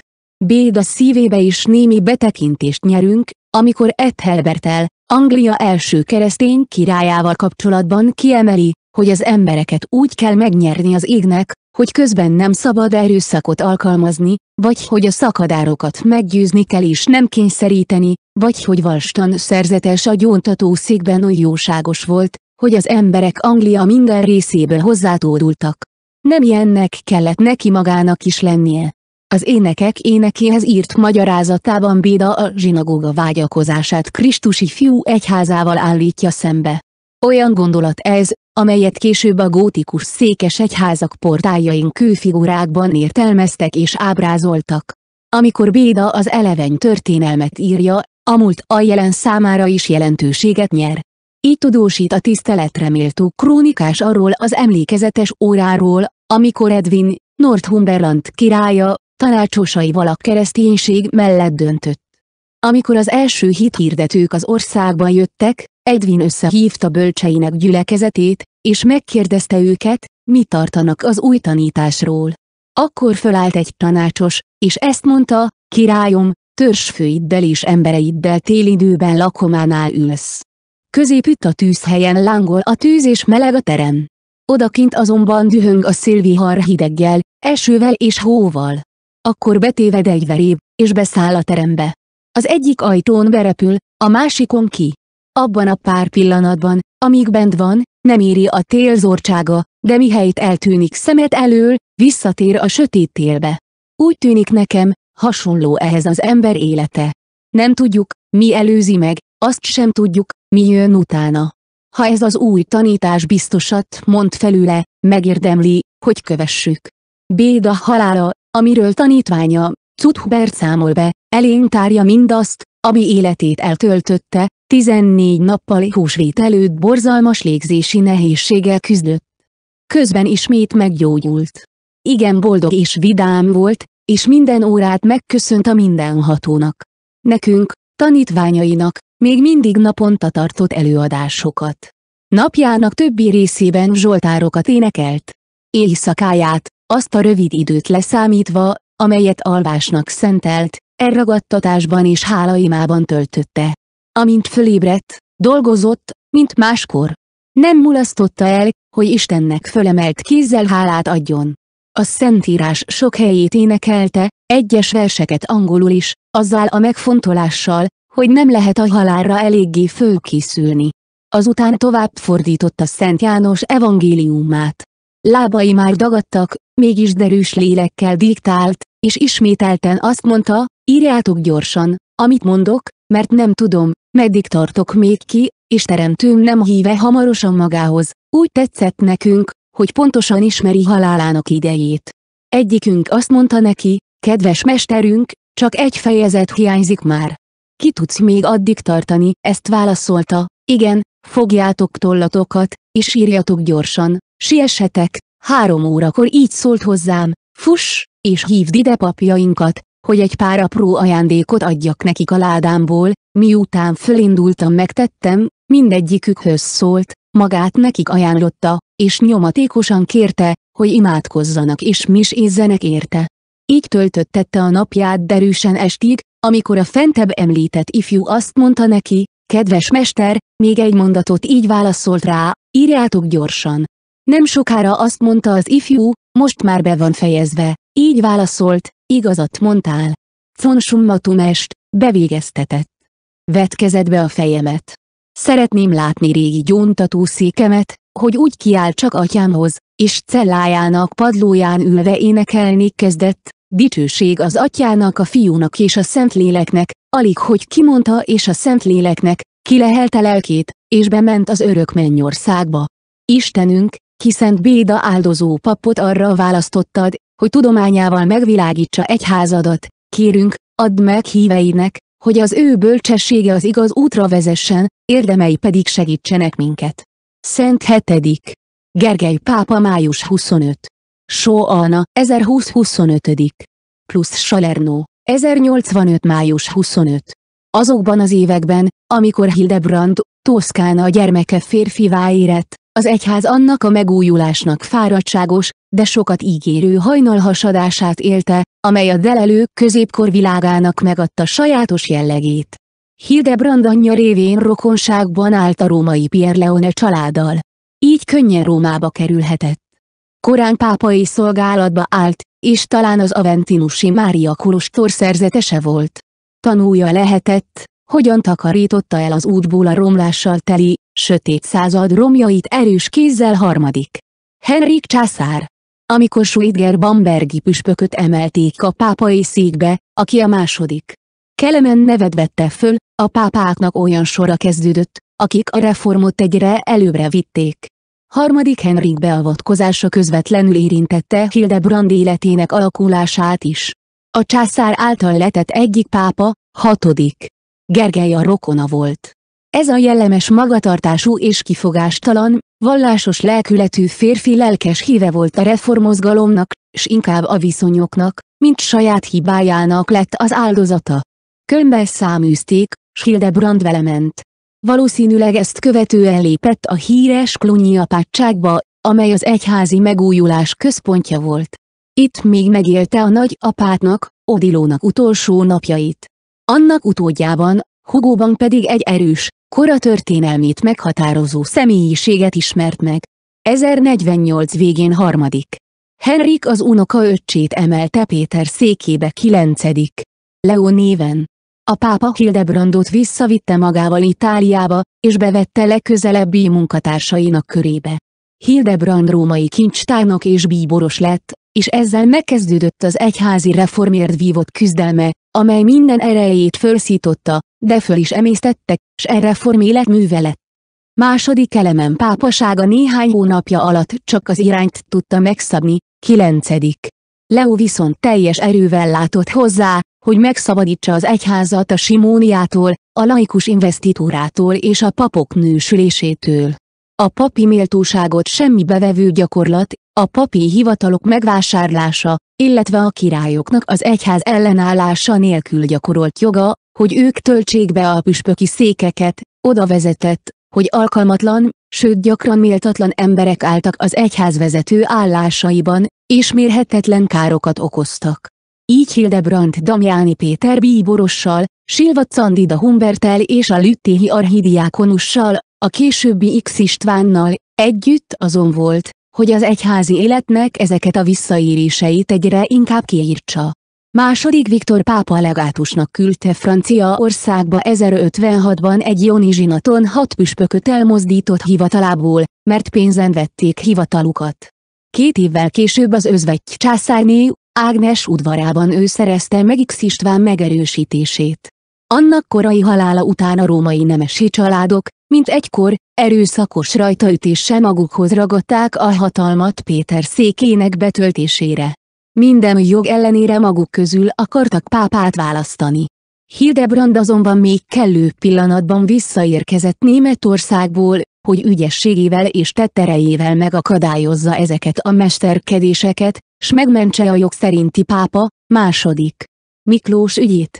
Személyének és reformtörekvéseinek azonban éppen ezekben a napokban hatalmas szövetségese támadt. Lombardiában a nép között mozgalom indult a Simónia, a laikus investitúra és a papok nősülése ellen. E, Patarianak nevezett mozgalom tagjai elkerülték a nős papok miséit, és fölkeltek a simóniás papság ellen. A pápa követeket küldött a Pataria vezetőihez, s megbízta őket a mozgalom és a milánói érsek között támad visszáj elsimításával is. Köztük volt Hildebrand is, aki 1059 óta a római egyház arhidiákonusának tisztjét viselte. Tárgyalásaik során teljes sikerre vitték a reformeszméjét. Nem sokára meghalt második. Miklós. Utódjának Anselm utcai püspököt, a Pataria egyik alapítóját választották meg, aki a második. Sándor nevet vette föl, 1061. Megválasztásában döntő része volt Hildebrandnak. Egy hadsereg élén még hadba is vonult, amikor császári csapatok a német királyi udvar ellenjelöltjét, Cadalust Rómába vezették, és ezzel három évig tartó visszát erőszakolta ki. Második Sándor 1073. április 21-én meghalt. A római egyház arhidiákonusaként Hildebrand három napi bőjtött és könyörgő Isten tiszteletet rendelt el, hogy Isten segítségét kiesdjék az esedékes pápa választáshoz. Az események azonban meggyorsultak. Még véget sem értek a temetés ünnepségei, amikor a nép magához ragadta a kezdeményezést. Hildebrandot pápának kiáltották ki, és minden tiltakozása ellenére erőszakkal a S. Pietro Invincoli templomba hurcolták, s miután a bíborosok beleegyezésüket adták, a pápai trónra emelték. Az új pápa a Gergely nevet vette föl. E névválasztás éppen úgy szolgálhatta Nagy Szent Gergely fönséges alakjának tiszteletét, mint ahogy emlékeztethetett hatodik viselőjére, akinek sorsában fiatalemberként maga is osztozott. A reform sürgető feladata mellett hamarosan eltöltötte a pápát az 1054 óta elszakadt keleti egyházzal való egyesülésnek és a jeruzsálemi szentsér visszaszerzésének gondolata. Fenyegetően ekkor kezdett azonban kibontakozni a Gergely életét és halálát beárnyékoló összeütközés negyedik. Henrikkel 1074 bőti zsinatján szigorúan megtiltotta, hogy laiakusok állítsanak püspököket. A királyok emberemlékezet óta a birodalmi érdek szerint nevezték ki a püspököket, akik a birodalmi alkotmány támaszai lettek. Az pedig kétségtelen, hogy a püspöki tisztség benső lényegét sérti, ha elsősorban földi érdekek szolgálatába állítják. Gergely még bizakodott abban, hogy békésen rendezni lehet a viszályt. Kész volt maga is bizonyos engedményekre, Henrik azonban mit sem törődve a pápa által kinevezett attóval, maga iktatott be egy érseket Milánó számára, és önkényesen így járt el más püspökségekkel és apátságokkal is. Akkor Gergely, még mindig kiegyezésre készen, komoly és sürgető levelet írt neki. A levél átadójának, hajthatatlansága esetén, a kiközösítést kellett volna kilátásba helyezni a király számára. A Wormsi Birodalmi Gyűlésen 1076. Január 24-én válaszolt Henrik, Hildebrandnak, aki már nem pápa, hanem ravasz barát. Ezzel az elbizakodott fölhívással fejezte be válaszát, te, minden püspökünk és a magunk ítélete alapján elátkozott, szállj le, hagyd el a biturolt apostoli széket. Mi, Henrik, minden püspökünkkel együtt mondjuk neked, szállj le, szállj le, és légy örökké átkozott. Rómában éppen ülésezett a bőti zsinat. Amikor Henrik követe, Pármai Roland a gyülekezet előtt fölolvasta ezt a választ, óriási fölháborodás tört ki a király ellen. A követet csak Gergely közbelépése mentette meg az erőszaktól. A következő nap azonban megtörtént a király elítélése. A pápa mélységesen sértve érezte magát, hiszen eltöltötte magas hivatásának tudata és annak a méltóságnak átérzése, hogy ő az apostol fejedelem utóda. A Henrik fölött hozott ítéletét Szent Péterhez intézett imádság formájába öltöztettek, a belét vetett bizalomra támaszkodva, egyházat tiszteletére és védelmére, a mindenható Isten nevében, a te hatalmadal és erőddel megfosztom az egész birodalom fölötti uralmától Henrik királyt, aki hallatlan kevénységgel fölázott egyházad ellen. A király kiközösítése rendkívüli esemény volt. Politikai következményei canossába kényszerítették Henriket. Itt Gergely három napon át súlyos harcot vívott önmagával. Mint pap nem tagadhatta meg a feloldozást a bűnbánók kereszténytől, ezért minden politikai meggondolás ellenére feloldozta a királyt az átok alól. Henrik azzal hálálta ezt meg neki, hogy a következő három évben, a hitegetés, a színlelés és a vesztegetés minden eszközével szabályszerűen az orránál fogva vezette a pápát. Gergely kénytelen volt Henrik viselkedését a pápai méltóság és hatalom tűrhetetlen semmi bevételének tekinteni.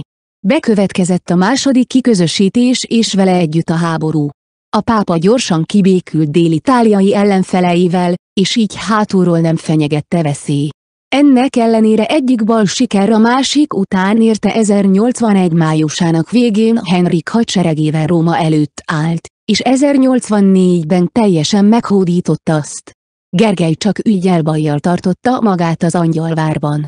Amikor a római nép és papság nagy része hűtlen lett hozzá és elismerte a Henrik által állított ellenpápát, veresége meg volt pecsételve. Végül a normannok jöttek segítségére, de mértéktelen fosztogatásukkal úgy elkeserítették Róma lakosságát, hogy nem maradhattak a városban, s velük együtt Gergely sem. Így hát megmentőivel Salernóba vonult. Az utolsó évek harcai és szenvedései megtörték testét. Egyedül, magára maradva ott halt meg 1085. május 25-én. Gergely életének vége még sem katasztrófa. Az egyház megújulásáért és megszentelődéséért folytatott küzdelemnek évszázadokra kiható irányt és lendületet adott. Ezzel együtt éppen külső vereségében mutatkozott meg szándékának zavartalan tisztasága. Igaz, Gergely, amint maga mondja, izzón és szenvedélyesen tudta gyűlölni a gonoszságot. Nem volt megnyerő, szeretetreméltó egyéniség, sőt, nem ritkán, goromba volt, mint az északi szél, valószínűleg lényének evonásában gyökerezett az a ridegség, amelyel hivatalának hatalmi igényeid védelmezte, melyeket mai fogalmaink szerint túlzottaknak tartunk. Ez akadályozta meg abban is, hogy megértésre jusson a királlyal, ami pedig megkímélte volna őt és Róma városát az 1083-84-es évek szerencsétlenségétől. Nagy mértékben birtokolta viszont az ellenség szeretet erejét, az igazi Krisztus követés csalhatatlan ismertetőjelét. Gergely szentsége éppen abban áll, hogy mindenestül hivatala a követelményeinek élve kiüresítette önmagát, elfeledte Hildebrandot, hogy Gergely legyen. Így tudta magát a végsőkig odaadni, minden nagyszerű adottságával szolgálva és önmagát fölemésztve. A cél, amelyre nem lankadó szenvedéllyel tört, az egyház szabadsága és tisztasága volt. Vépál pápa a hozzások vonásban hasonló Gergelyt, 1606-ban avatta szenté, amikor az abszolutizmus hatalmi igényei ugyanúgy fenyegették az egyházat, mint egykor. Ünnepét 1728-ban vették föl a római naptárba, május 25-re. E a nagy pápát, akinek lelki ereje és harcias természete szembetűnő, mindig kétféleképpen ítélték meg. Korának harcos irodalma az utánozhatatlan szent vagy a megtestesült ördög képét festette róla, lelkes odaadással vagy izzó gyűlölettel fogadták. Kortársa és kritikus barátja, Damjáni Szent egyik levelében megismerteti velünk Gergely dinamikus jellemét, az alapján, amilyen módon és formában ön közölte velem ezt a megbízatást, nagy ellentétet látok önben. Miközben egy részről az atyai kegy jó indulatával kedveskedik nekem, más részről borzasztó perpatvarral fenyeget. Míg egy részt melengető fényjel sugárzik rám, mint a nap, más részt úgy támad rám, mint a goromba északi szél. Damjáni nem tudta megmondani, hogy szerette inkább, vagy félt tőle, mint valami zsarnok, mint egy néró, mint oroszlán kényszerített mindenre, ami helyes. Úgy uralkodott rajtam, mint egy szent sátán. Vitathatatlan, hogy hetedik. Gergely teljesen átítatta szent küldetése és felelőssége. Főpásztori hivataláról így ír, Isten a pápát őrnek állította minden egyes ember és az egyetemes egyház fölé. Az utolsó ítélet napján számot kell adnia róluk. Ezért nem hallgathat, amikor az lenne a kényelmesebb. Vállalnia kell inkább még a halált is. Ha mindenki siketnémává lesz is, neki föl kell emelnie hangját, magas hegy tetejére állítottál, hogy kikiáltsam és pellengérre állítsam Isten népének gonosz tetteit és az egyház gyermekeinek bűneit.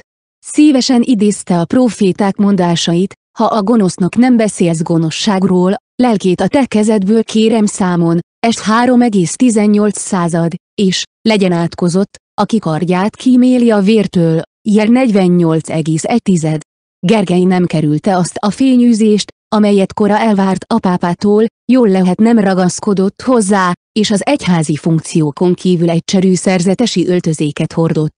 Amilyen pontosan különbséget tudott tenni magával kapcsolatban a személy és a hivatal közt, ugyanolyan jól megkülönböztette mások esetében is a szemét és annak ügyét, hivatali kötelességem, hogy szeressem az embereket, miközben elutasítom hibáikat, hogy gyűlöljem Isten ellenességüket, de sohasem személyüket.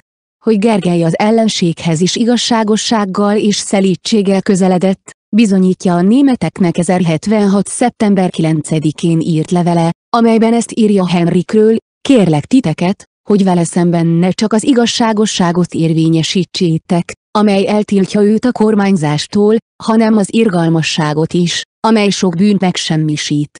A 11. század pápájánál senki sem keresne toleranciát, pedig hetedik. Gergely birtokában volt ennek a tulajdonságnak is. Egy levélben, amelyet Ennassernak, Afrika Mohamedán uralkodójának írt, megköszöni baráti gesztusát, majd így folytatja, Istennek, aki minden embert meg akar menteni, és nem akarja, hogy egy is elveszen, semmi sem kedvesebb, mint hogy az ember rajta kívül embertársát szeresse, hogy senki másnak ne tegyen olyant, amit magának nem kívánna a mások részéről. A szeretetnek ilyen megnyilatkozásaira mi keresztények és mohamedánok sokkal inkább kötelesek vagyunk egymás iránt, mint más népek. Hiszen mi, ha különböző módon is, ugyanabban az egy Istenben hiszünk, és naponta tiszteljük őt. Isten a tanúm, hogy az ő dicsőségére téged szeretünk, és őszintén kívánjuk földi és örök üdvödet. Hosszú és boldog kormányzás után vezessen téged a mindenható Ábrahám kebelébe az örök boldogság élvezésére. Hogy mennyire nem volt fanatikus Gergely, mutatja a viselkedése Tóursi Berengárral szemben, akit azzal vádoltak be, hogy tévtanokat hirdet az Eucharisztiáról. Nem követte a heveskedőket, akik erélyes intézkedést követeltek az eretnekkel szemben. Azt akarta, hogy biztosítva legyen a tér a teológiai gondolkodásnak, s vele együtt a tévedésnek is. Menlevelet adott a bevádoltnak, hogy hazatérhessen, és mindenkinek megtiltotta, hogy Berengárt mint eretneket üldözze. Gergely pápaságának minden bizonyal legmegindítóbb eseményei közé tartozott negyedik. Henrik megjelenése Canossa előtt. Gergely éppen úton volt Augsburg felé, ahol a német püspökökkel is fejedelmekkel dönteni kellett volna Henrik sorsáról.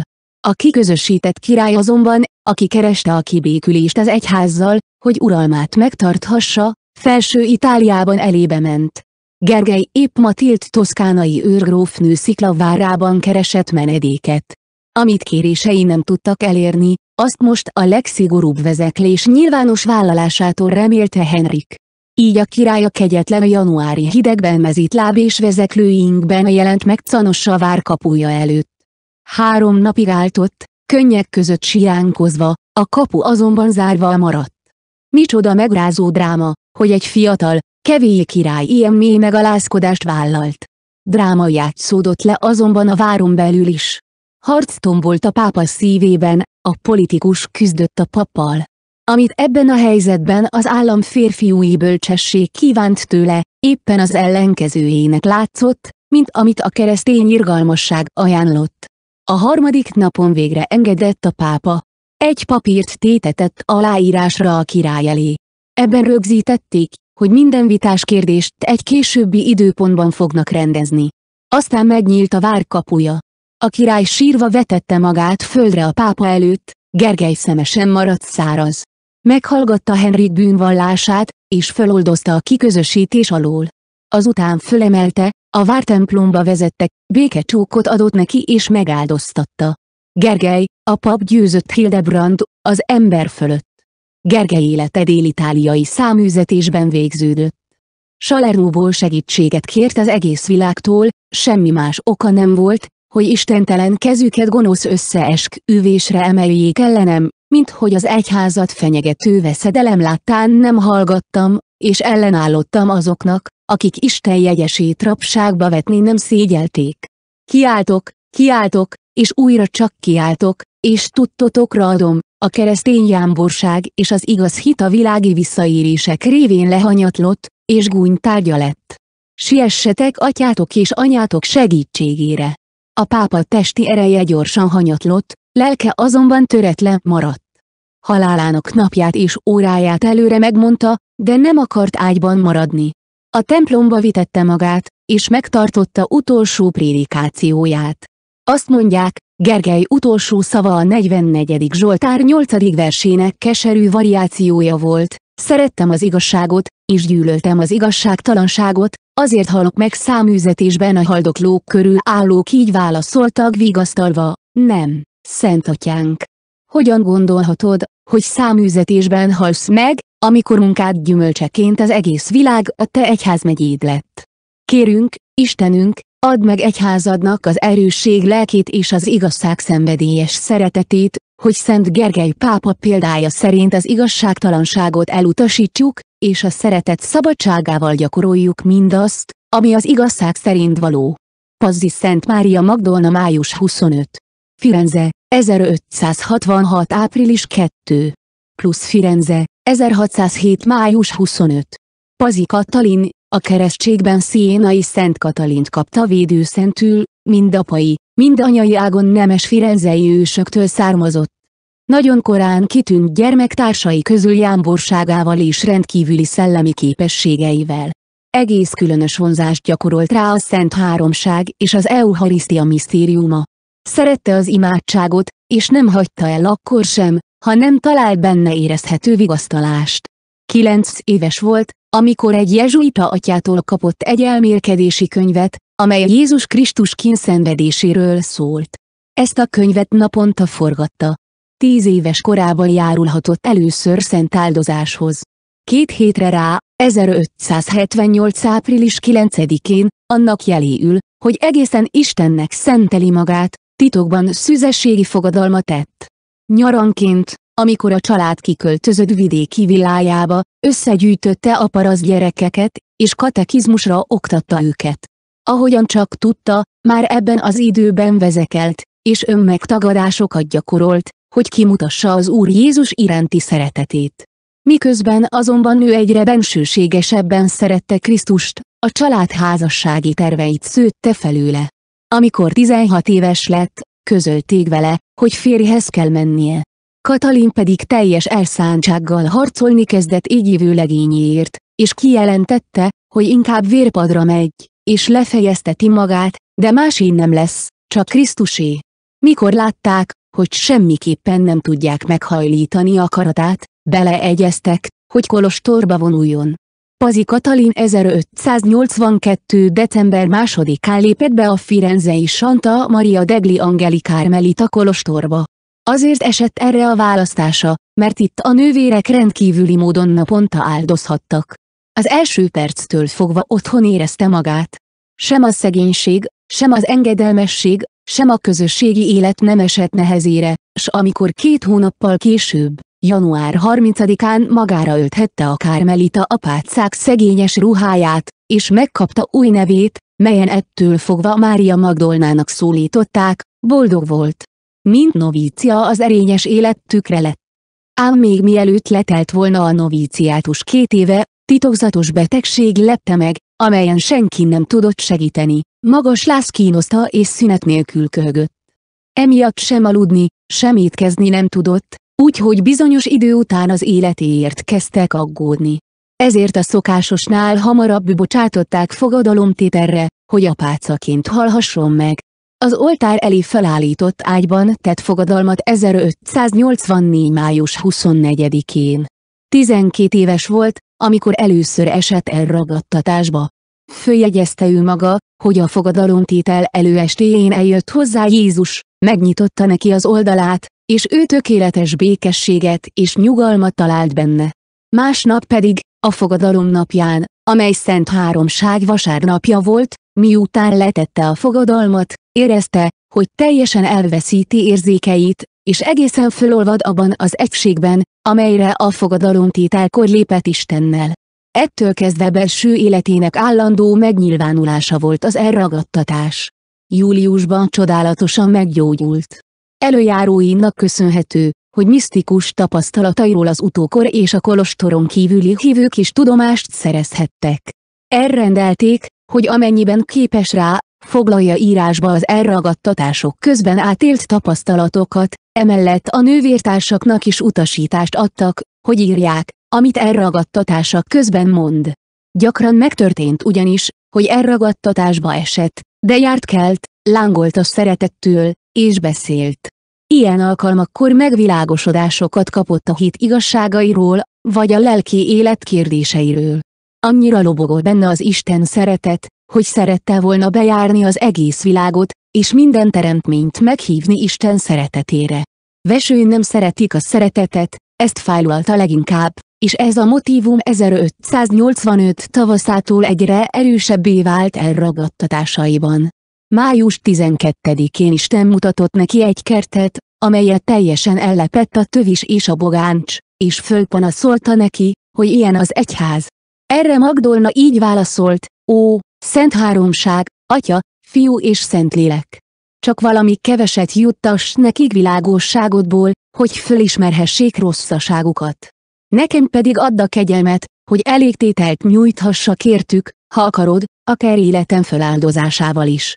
Egy másik alkalommal megismételte engesztelő felajánlását, és hozzátette, ha az én gyengeségem nem elegendő, hogy vágságuktól megszabadítsa őket, engedd, hogy annyiszor szenvedjem el a halált, s kezdjem újra az életet, ahányszor csak szükséges, hogy igazságosságot kielégítessék, és a felajánlást az Úr elfogadta, mert megparancsolta neki, hogy vezetlésül a vasárnapokat kivéve vízen és kenyéren bőjtöljön, naponta csak öt órát aludjon kemény deszkán, ne viseljen a lábán sarut, és télen-nyáron ugyanabban a ruhában járjon.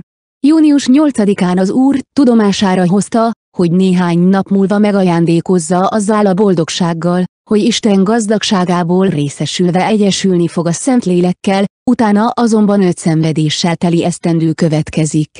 Magdolna arra kapott ígéretet, hogy Isten megvonja tőle a kegyelemnek minden érezhető vigasztalását, a próbatét arra szolgál, hogy megismerje a saját semmiségét, és még fogékonyabbá váljék Isten sugallatai iránt, mindez nem marad rejtve az ördögök előtt, de Isten megvalósítja a maga terveit. Az előre megmondott szenvedés valóban megkezdődött, és félelmetes volt. Magdolna fizikailag érezte az ördögök közelségét, akik gyötörték őt. Kétségei támadtak a hit felől, káromló gondolatok, tisztátalanságok, kétségbeesés, bők kísértettek, ám ő mindezen kísértések közepette egyre inkább megalázta magát. Az igazi gyötrelmet azonban szörnyű belső szárassága okozta, amely lehetetlenné tette, hogy a lelkét fölemelje Istenhez. Elmondta előjárójának, hogy egyetlen támasza az a csekély jó akarat volt, amit a szívében tudott, hogy nem akarja megbántani Istent. Amikor nővértársai látták szenvedését, és elhagyatottságát, kételkedni kezdtek a korábbi kegyelmek hitelességében. És bizalmatlanságukat még tovább fokozta, hogy 1586-ban elragadtatások közben leveleket kezdett diktálni. Külön figyelmet érdemel, hogy elragadtatásai minden belső elhagyottság ellenére tovább folytatódtak. Csak ahogy ő maga írja, semmi örömet nem talált bennük, mert úgy élte át elragadtatásait ebben az időszakban, mintha nem ő lett volna. Elevelekben lángoló szavakkal fordult ő, a kis Kármelita apáca a nagy egyházi méltóságokhoz, a pápához, a bíborosok kollégiumához, a jezsuita generálishoz, a firenzei érsekhez, és Isten nevében sürgette őket, hogy Krisztus véréért tegyenek meg mindent, ami szükséges az egyház megújulásához, ti a Trienti zsinat határozatainak végrehajtásához. Nem nehéz elképzelni, hogy ez a hang mennyire megrémítette az apácákat. Ellevelek mind megtalálhatók a kolostor levéltárában, ugyanis soha nem küldték el őket. Vajon, tartalmuk eljutott-e a címzettekhez? Nem tudjuk, annyi azonban bizonyos, hogy választ sehonnan nem kapott rá. 1590 pünkösdjén ért véget ez az öt éves próbatét. A matutinum végén, amikor a Tedeumot énekelték, Magdolna nővér úgy elmerült Istenben, hogy egész nap elragadtatásban maradt.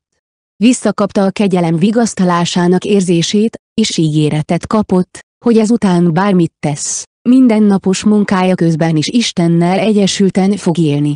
A firenzei Santa Maria degli Angeli kolostor nem tartozott a kármeliták sarutlan reformágához, de amit Magdolna nővér megélt, az teljesen egyezik azzal, amit a Vilai Szent Teréz és keresztes Szent János a lelki élet legmagasabb fokairól tanít. Es föltűnő, hogy, annak ellenére, hogy a neki szóló leveleket nem küldték el, v. Sixtus pápa bullái és rendeletei 1585, 1590 között szinte szóról szóra választ adnak azokra a követelésekre, amelyeket Magdolna isteni parancsra megfogalmazott. Elragadtatásai során az úr olyan szerzetesi ideála ismertette meg Magdolna nővért, amely nagyon eltért az akkori kolostorok általános gyakorlatától. Amikor a novícia mesternő asszisztense, 1595, majd novícia mesternő, 1598, lett, lehetősége nyílt, hogy a kapott eszményeket másoknak is átadja. Növendékeit arra nevelte, hogy maradéktalanul tartsák meg a szerzetesi fogadalmakat, mert csak így juthatnak el a szabadság legmagasabb fokára, amely föltételezi, hogy a lélek mindenről lemond, ami nem Isten. Céltudatos következetességét Istenért égő buzgósága teszi érthetővé. Mindamellett nem volt kegyetlen, mert szigoránál csak anyai szeretete volt nagyobb, amelyel fiatal nővértársait szerettek, s mint gyermekeinek éjjel és nappal szolgálatára volt. A szellem, amelyet meghonosított a novíciák között, természetesen a kolostor egészére is hatott, és áldásait még nemzedékekkel később is érezték. Tevékenysége azonban nem korlátozódott csak a novíciákra. Szeretetét mindenki felé árasztotta, s mióta megtapasztalta a saját emberi gyengeségét, mindenki felé megértő és jóságos lett. A laikus nővérek mellé odaállt, és segített nehéz munkájukban, a betegeket vigasztalta és gyógyította, a szomorúakat megvidámította, olvasott a lelkekben, előre mondta a jövendőt és csodákat művelt. 1595-ben azt kérte urától, hogy vonjon meg tőle minden örömet, és engedje, hogy a puszta szenvedést élhesse, mert úgy érezte, hogy az önmegtagadás és a vezetlés számára semmi nehézséget nem okoz. Egyetlen féltett kincsének azt érezte, hogy Isten viszonozza a szeretetét, épp ezért ezt akarta felajánlani. És az Úr elfogadta, magára hagyta azt a lelket, akit annyiszor látogatott meg boldogító elragadtatásokban. Most megvont tőle minden vigasztalást, és ez az állapot egészen a haláláig tartott.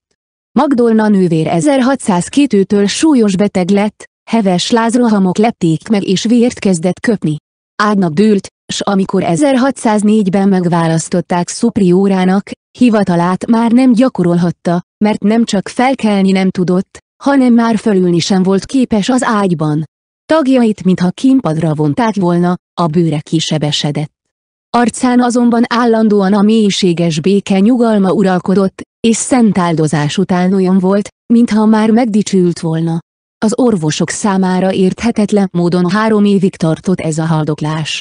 Ő maga azt mondta, a paradicsomban nem szenvedhetek Isten iránti szeretetből, ezért nem szeretnék még meghalni, szenvedni, nem meghalni, ezzel jellemzik lelkiségét, pedig ezt ő így soha nem mondta, de élte 1607. május 25-én költözött el égivő. Életében sok jele volt szentségének, a halála után is sok csodát tett. Egy év múltával a holtestét teljes romlatlanságban emelték ki a sírjából 1626-ban 8. Orbán pápa boldoggá, 1669-ben 9. Kelemen pápa szenté avatta. Ünnepét már a következő esztendőben, 1670-ben fölvették a római kalendáriumba, május 25-re 1728-ban azonban erre a napra tették Szent 7. Gergely ünnepét, ezért Magdolnát áthelyezték május 27-re 1899-ben erre a napra került be a venerabilis, ezért Magdolnát tovább helyezték 29-re 1969-ben, bár így egy napra három szent ünnepe is esik, visszakerült égi születésnapjára, május 25-re. Pazi Szent Mária Magdolna a 16. század nagy misztikusai közé tartozik. A külvilág szeme előrejtetten, látszólag minden eredmény nélkül élt, de a kegyelem a nagy kármelita reformátorok és védőszentje, Szénai Szent Katalina lelki testvérévé tette őt. Misztikus élményei leginkább ez utóbbival mutatnak rokonságot. Pontos följegyzések maradtak a következőkről. 1585. március 24-én, gyümölcsoltó boldogasszony vigíliáján Szent Ágoston megjelent neki, és a szívébe írta e szavakat, verbum carofactum est, április 15-én lelkébe kapta a stigmákat, 28-án misztikus eljegyzése volt, Krisztus gyűrűt húzott az ujjára, május 21-én kapta a parancsot, hogy bőtöljön, és csak 5 órát aludjon naponta. Június 8-án egy 8 napig tartó elragadtatás sorozat kezdődött. Minden nap a tercia idején eljött hozzá a Szentlélek tűz, víz, galamb vagy oszlop alakjában 16-án, Szent Háromság vasárnapján kezdődött az öt éves próbatét, amelyet Magdolna, az oroszlánok barlangjának nevezett 1590 húsvétján az úr arra kérte, nyújtsa meg a nagy bőtöt pünkösdig, s ennek végeztével kapta vissza az érzékelhető vigasztalásokat. Az egyház iránti szeretet volt számára a Krisztus iránti misztikus szerelem földi kifejezési formája. A megváltó vért, amelyet Krisztus egész testéből ontott az egyházért, ajánlja a föl Magdolna is, hogy megújuljon az egyház, hogy a papok ismét a világ világosságon legyenek, hogy a nővérek ne az ostoba szüzek közé tartozzanak, hogy a hitetlenek térjenek meg az egyakorba, s hogy a hívőket egészen átitathassa a megváltó vér. Istenünk, szüzesség kedvelője, kiégi ajándékokkal ékesítetted Pazzi Szent Mária Magdolnát, mert szíve égett az irántad való szeretettől, kérünk, add, hogy akinek ünnepét ma üljük, annak tisztaságát kövessük a szeretetben. Néri Szent Fülöp május 26. Firenze, 1515. július 21. Plusz Róma, 1595. május 26. Fülöp édesapja kis jegyző és alkimista volt Firenzében. Amikor Fülöp öt éves volt, meghalt az édesanyja, de nevelőanyja is nagyon szerette. A kis, Pippo Buono mindenki kedvence volt. Közvetlenség, dús fantázia, nagy lelkesedni tudás jellemezte. Rendkívüli érzéke volt a vidám, népies tréfákhoz. Alakján valami sugárzó tisztaság ömlött el. Első képzését szülővárosának Szent Már konventjében, a dominikánusoktól kapta. Ami jó van benne, vallotta később, azt nekik köszönheti. Ők ültették szívébe a mély szeretetet és tiszteletet, vértanújuk, Savonarola iránt. Az ő írásaiból tanulta meg, hogy a szükséges egyházi reform csak a lelkek, azaz a papság és a laikusok keresztény életének megújulásából születhet meg, hogy a Szentlélek működésében hinni kell, hiszen a Szentlélek az egyházban él ma is, mint a kezdeti időkben, s végül, hogy semmi sem tesz oly boldoggá és vidámá, mint a Szentírás fölötti elmélkedés. Apja 1533-ban a Monteca sinók közelében lévő Sangermanóba küldte. Itt élt nagybátyja, egy gazdag kereskedő. Fülöp állítólag három könyvet vitt magával, az egyik volt a Laude, a Jámbor Bolond, Jaco Poneda Todi, plusz 1306, nyers és faragatlan, de misztikus bensőséggel telített dalai, a másik Boldog Combini, plusz 1367, életrajza a humanista Belcaritól, a harmadik a sokat utazó falusi plébános, Arlottó vidám elbeszélés kötete.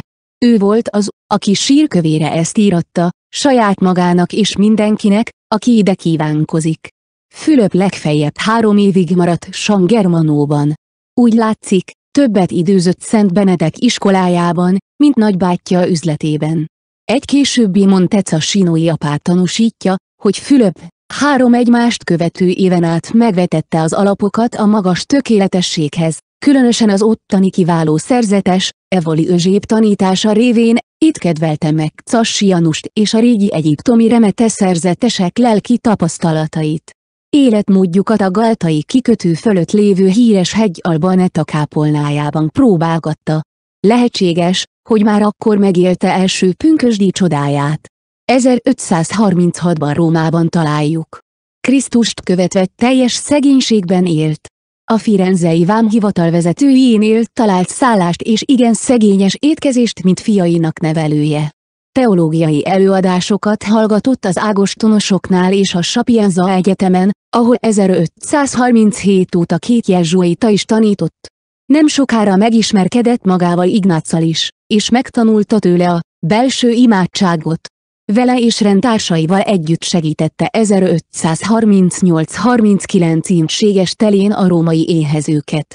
Látogatta a betegeket a Szent Jakab ispotályban, és megismerkedett alapítójával is, aki a híres laikus testvérülethez, az isteni szeretet oratóriumához tartozott. Vesős Olataritas, csak a szeretet számít, lett később saját oratóriumának a jeligéje is. Tanév közben, egész hirtelen elhatározta, hogy abba hagyja tanulmányait. A Szentíráson és Szent Tamás sumáján kívül eladta könyveit, és árukat a szegényeknek adta. Veső sohasem tanultam sokat, mert el voltam foglalva az imádsággal és egyéb lelki gyakorlatokkal, szokta később mondogatni. És mégis azt mondja róla más valaki, hogy fölfedezte, Fülöp tudása éppen olyan nagy, mint a jámborsága. Akkoriban azonban erre a radikális elhatározásra jutott a megfeszített előtt, aki Krisztuson kívül akar valamit, nem tudja, mit akar, aki Krisztuson kívül vágyik valamire, nem tudja, mire vágyik, aki Krisztuson kívül más valakiért dolgozik, nem tudja, mit csinál. Napjai ettől fogva az utcai apostolkodással teltek. Bizalmat keltő modorának senki sem tudott ellenállni. Éjjel azonban Istené volt. Valami kiűzte Róma kapui elé a campagna éjszakai magányába, a San Sebastianokat a komba föld alatti vértanús írjaihoz. Gyakran fölkeresett egy-egy templomot, ott imádkozott, és néhány órát aludt az előcsarnokban. Belső élete Isten és az ő titka maradt. Talán akkor tapasztalta meg azoknak az imádságoknak az erejét, amelyeket későbbi fiú barátainak ajánlott. Köztük voltak a régi sivatági atyák röpimái. Más imádságok teljesen őrá vallanak. Ilyen órákban költeményeket is írt. Sajnos, csak egyetlen szónet maradt ránk, amely így végződik. Vesőmie börtön rabja a lélek a földön, miért nem tud kitörni idelentről? Hogy lába végre csillagokon járjon. Istennek éljen, s magának meghalljon, rendkívüli látomásokban és kegyelmekben is részesült. Az a leghíresebb, amelyet 1544-ben a katakombákban kapott. Úgy látta, hogy tüzes golyó hatol be a száján, és leszáll a szívébe. Egy másik látomásban keresztelő Szent János, Firenze védőszentje kiszólította remete életéből az apostoli munkába, Isten akarata szerint a világba kell menned, és Rómában kell élned, de úgy, mint a sivatagban, hallotta egy benső hangszavát. végül 36 éves fejjel 1551 májusában gyóntható atya, Persianúrosa rábeszélésére fölvette a papirendet. Beköltözött a Sangirola della Cari testvérület házába. Itt bontakozott ki sokféle megpróbáltatás után tulajdonképpeni alkotása, az oratórium. Mint egy starec vagy a régi sivatagi remete szerzetesség, lelki atya körül, lelki gyermekeinek egyre növekvő tábora alakult ki körülötte. Legtöbbjüket a gyóntatószékben ismerte meg. Délutánonként összejöttek kicsiny cellájában, s kezdődött a lelki beszélgetés. Jánost, Pált, Ágostont, Cassi Janust, Tamást, Gersont és Colombinit olvasták, vagy kirándultak, és este még sokáig térdeltek a Sangirolamo templomban. Egyénisége mindönállóbban és világosabban átjárta a postoli munkáját. A reneszánsz és a kezdődő újkor emberének kevéssége arra késtette, hogy Istennek, a hasonlíthatatlannak szeretetéből bohóc ruhát öltsön, és minden emberit a feje tetejére állítson. Micsoda titokzatos ember az, aki valódi gyönyörűségét leli abban, hogy bolondnak tartsák. Teszi ezt részben vidám természetéből, részben azért, hogy elrejtse azt az izzást, amely elő az Istené. A világot, semmibe venni, önmagamat semmibe vétetni, az Isteniben menthetetlenül beléveszett embernek ezt a végső bölcsességét senki úgy meg nem élte, mint ez a Pippo Bono, aki kacagásával takarta el a mérhetetlent, amely meg akarta semmisíteni, Hárahner. Cellája hamarosan szűknek bizonyult. A templom szomszédságában volt egy raktárépület, azt építették át oratóriumá. A fiatal közösség ettől kapta a nevét, 1554. Itt ismerkedtek naponta a Szentírással. De nem csak a szent könyvekben leírt isteni igével ismerkedtek, hanem az Úrnak az egyház és a szentek életében megtestesült szavával is. Közösen az imádsággal válaszoltak Isten szavára, egyénileg pedig kiki a szeretett tetteivel a város kórházaiban és utcáin. Az új kör első, hódításai közé tartozott Tarugi, a későbbi bíboros, valamint Baronius, az egyház történeti Anna leszerzője. Ezek az oratórium látogatóinak 1559-ben tartott konferenciák anyagából álltak össze. Vállalkozásaik egyre bővültek, oratóriumokat tartottak vasárnap reggelenként a mise előtt, délután és esténként népnyelvű énekléssel és imádsággal, körmeneteket rendeztek, hét templom búcsújárásokat, amelyeken a római kúria legfelsőbb körei is részt vettek. Ezeknek köszönhetően Fülöp kétszer összeütközésbe került az inkvizícióval, először a félelmetes negyedik. Pál pápa alatt, majd még egyszer Vépius idejében. Teljes alázatosságával és kedvességével mindkét alkalommal lefegyverezte bíráit. Nem csak baj nélkül került ki az ügyből, hanem megnyerte a nevezett pápák különleges jóindulatát is. Egyébként befolyásos szövetségese volt Borromei Károly. 1564-ben művének újabb állomása kezdődött. Mivel a pápa közbelépésére át kellett vennie a firenzeiek római templomának és egyházközségének vezetését, három fiatal barátját és segítőjét, Tarugit, Bordinit és Baroniust pappá szenteltette. Ezzel először kezdett világi papok kis csoportja közös életet. Fülöp érdeklődése továbbra is az Isten alapította nagy, plébániák fölött álló oratórium körnek szólt, amely még mindig a Sangirolamóban gyülekezett. Egy résztvevő szerint ez az oratórium, Róma egész vallási életének a középpontját jelentette. A Fülöp és 13. Gergely, 1572-1582, között kialakult baráti kapcsolat újból biztosította neki és művének a szent cég támogatását. Így hamarosan teljesen függetleníteni tudta magát a firenzei kolóniától, és a pápától kapott Valicella templomban újjá szervezte oratóriumát. Amikor ez 1578-ban helyet adott Anuauva hiesának, az új templomnak, a város minden rendjéből és rétegéből ezrek találkoztak itt az oratóriumban. Az oratoriánus papok és testvérek itt élő nagy csapatából alakult meg az oratórium kongregációja, amely 1575. Július 15-én pápai jóváhagyást kapott 1583-ban a pápa parancsára Fülöpnek is oda kellett költöznie. Közben teljesen megvilágosodott előtte hivatása és feladata, A klérus azoknak a világi keresztényeknek a példáján épüljön, akik a világban helyzetüknek megfelelően élik a tökéletesség életét. A népet azután a belsőleg megújult papság fogja elvezetni a keresztény életre. Ebbe a klérusba tartoznak az ő fiai, akik világi papok fogadalom nélküli közösségében együtt élnek. Így lett Méri Fülöp, a Firenzei, Róma második apostolává.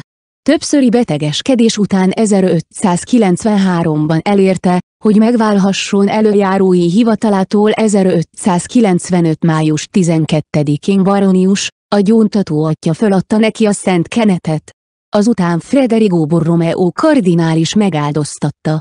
Az, uram, nem vagyok méltónál könnyek között vádolta még egyszer magát, soha semmi jót sem tettem, semmit, egyáltalán semmit, egyáltalán nem vagyok méltó, azután, ha meggyógyulok, megváltoztatom életemet rövid ideig újra tudott misézni. A Szent Mise bemutatása közben évek óta órákat elragadtatásban töltött. Hasonlóképpen utolsó napjáig gyóntatott 1595. május 25-én reggel még bemutatta a Szent Misét, örömtől újongva és énekelve. Rajta kívül senki sem gondolt közeli halálára. Este, mint mindig, hozzájöttek a testvérek minnyájan, megkapták áldását, s másnap reggel három órakor Fülöp meghalt. Szenti avatási eljárása már halála után két hónappal megkezdődött 1622-ben Loi Olaj Ignáccal, Xavéri Ferenccel és Avilai Terézzel együtt avatták szenté. Ünnepét 1625-ben vették föl a római kalendáriumba, május 26-ra. Egész sereg jellemző esemény híre maradt ránk Néri Fülöpnek, Roma szeretetre méltó második apostolának életéből. Még Goethe is csodálta őt, és, humoros szentnek nevezte. Alig hogy Rómában megtelepedett, napjait az utca apostolkodásnak szentelte. Nem tartott az embereknek dorgáló beszédeket. Jobban szereted vidám beszélgetést kezdeményezni az utcán csavargó ifjakkal, a firenzei kereskedőkkel, az apró üzletek tulajdonosaival és a szegény művészekkel. Szellemesen és népies szókimondással kezdte, hogy azután, megnyílt szívük láttán, hirtelen megkérdezze, mikor szedjük össze végre bátorságunkat, hogy elkezdjünk valami jó tenni. Nem késlekedhetünk vele, mert a halál sem késlekedik. Egyszer egy fiatal barátja sikeres tanulmányairól beszélt neki. Fülöp akkor így szólt hozzá, szerencsés ember, most tanulsz.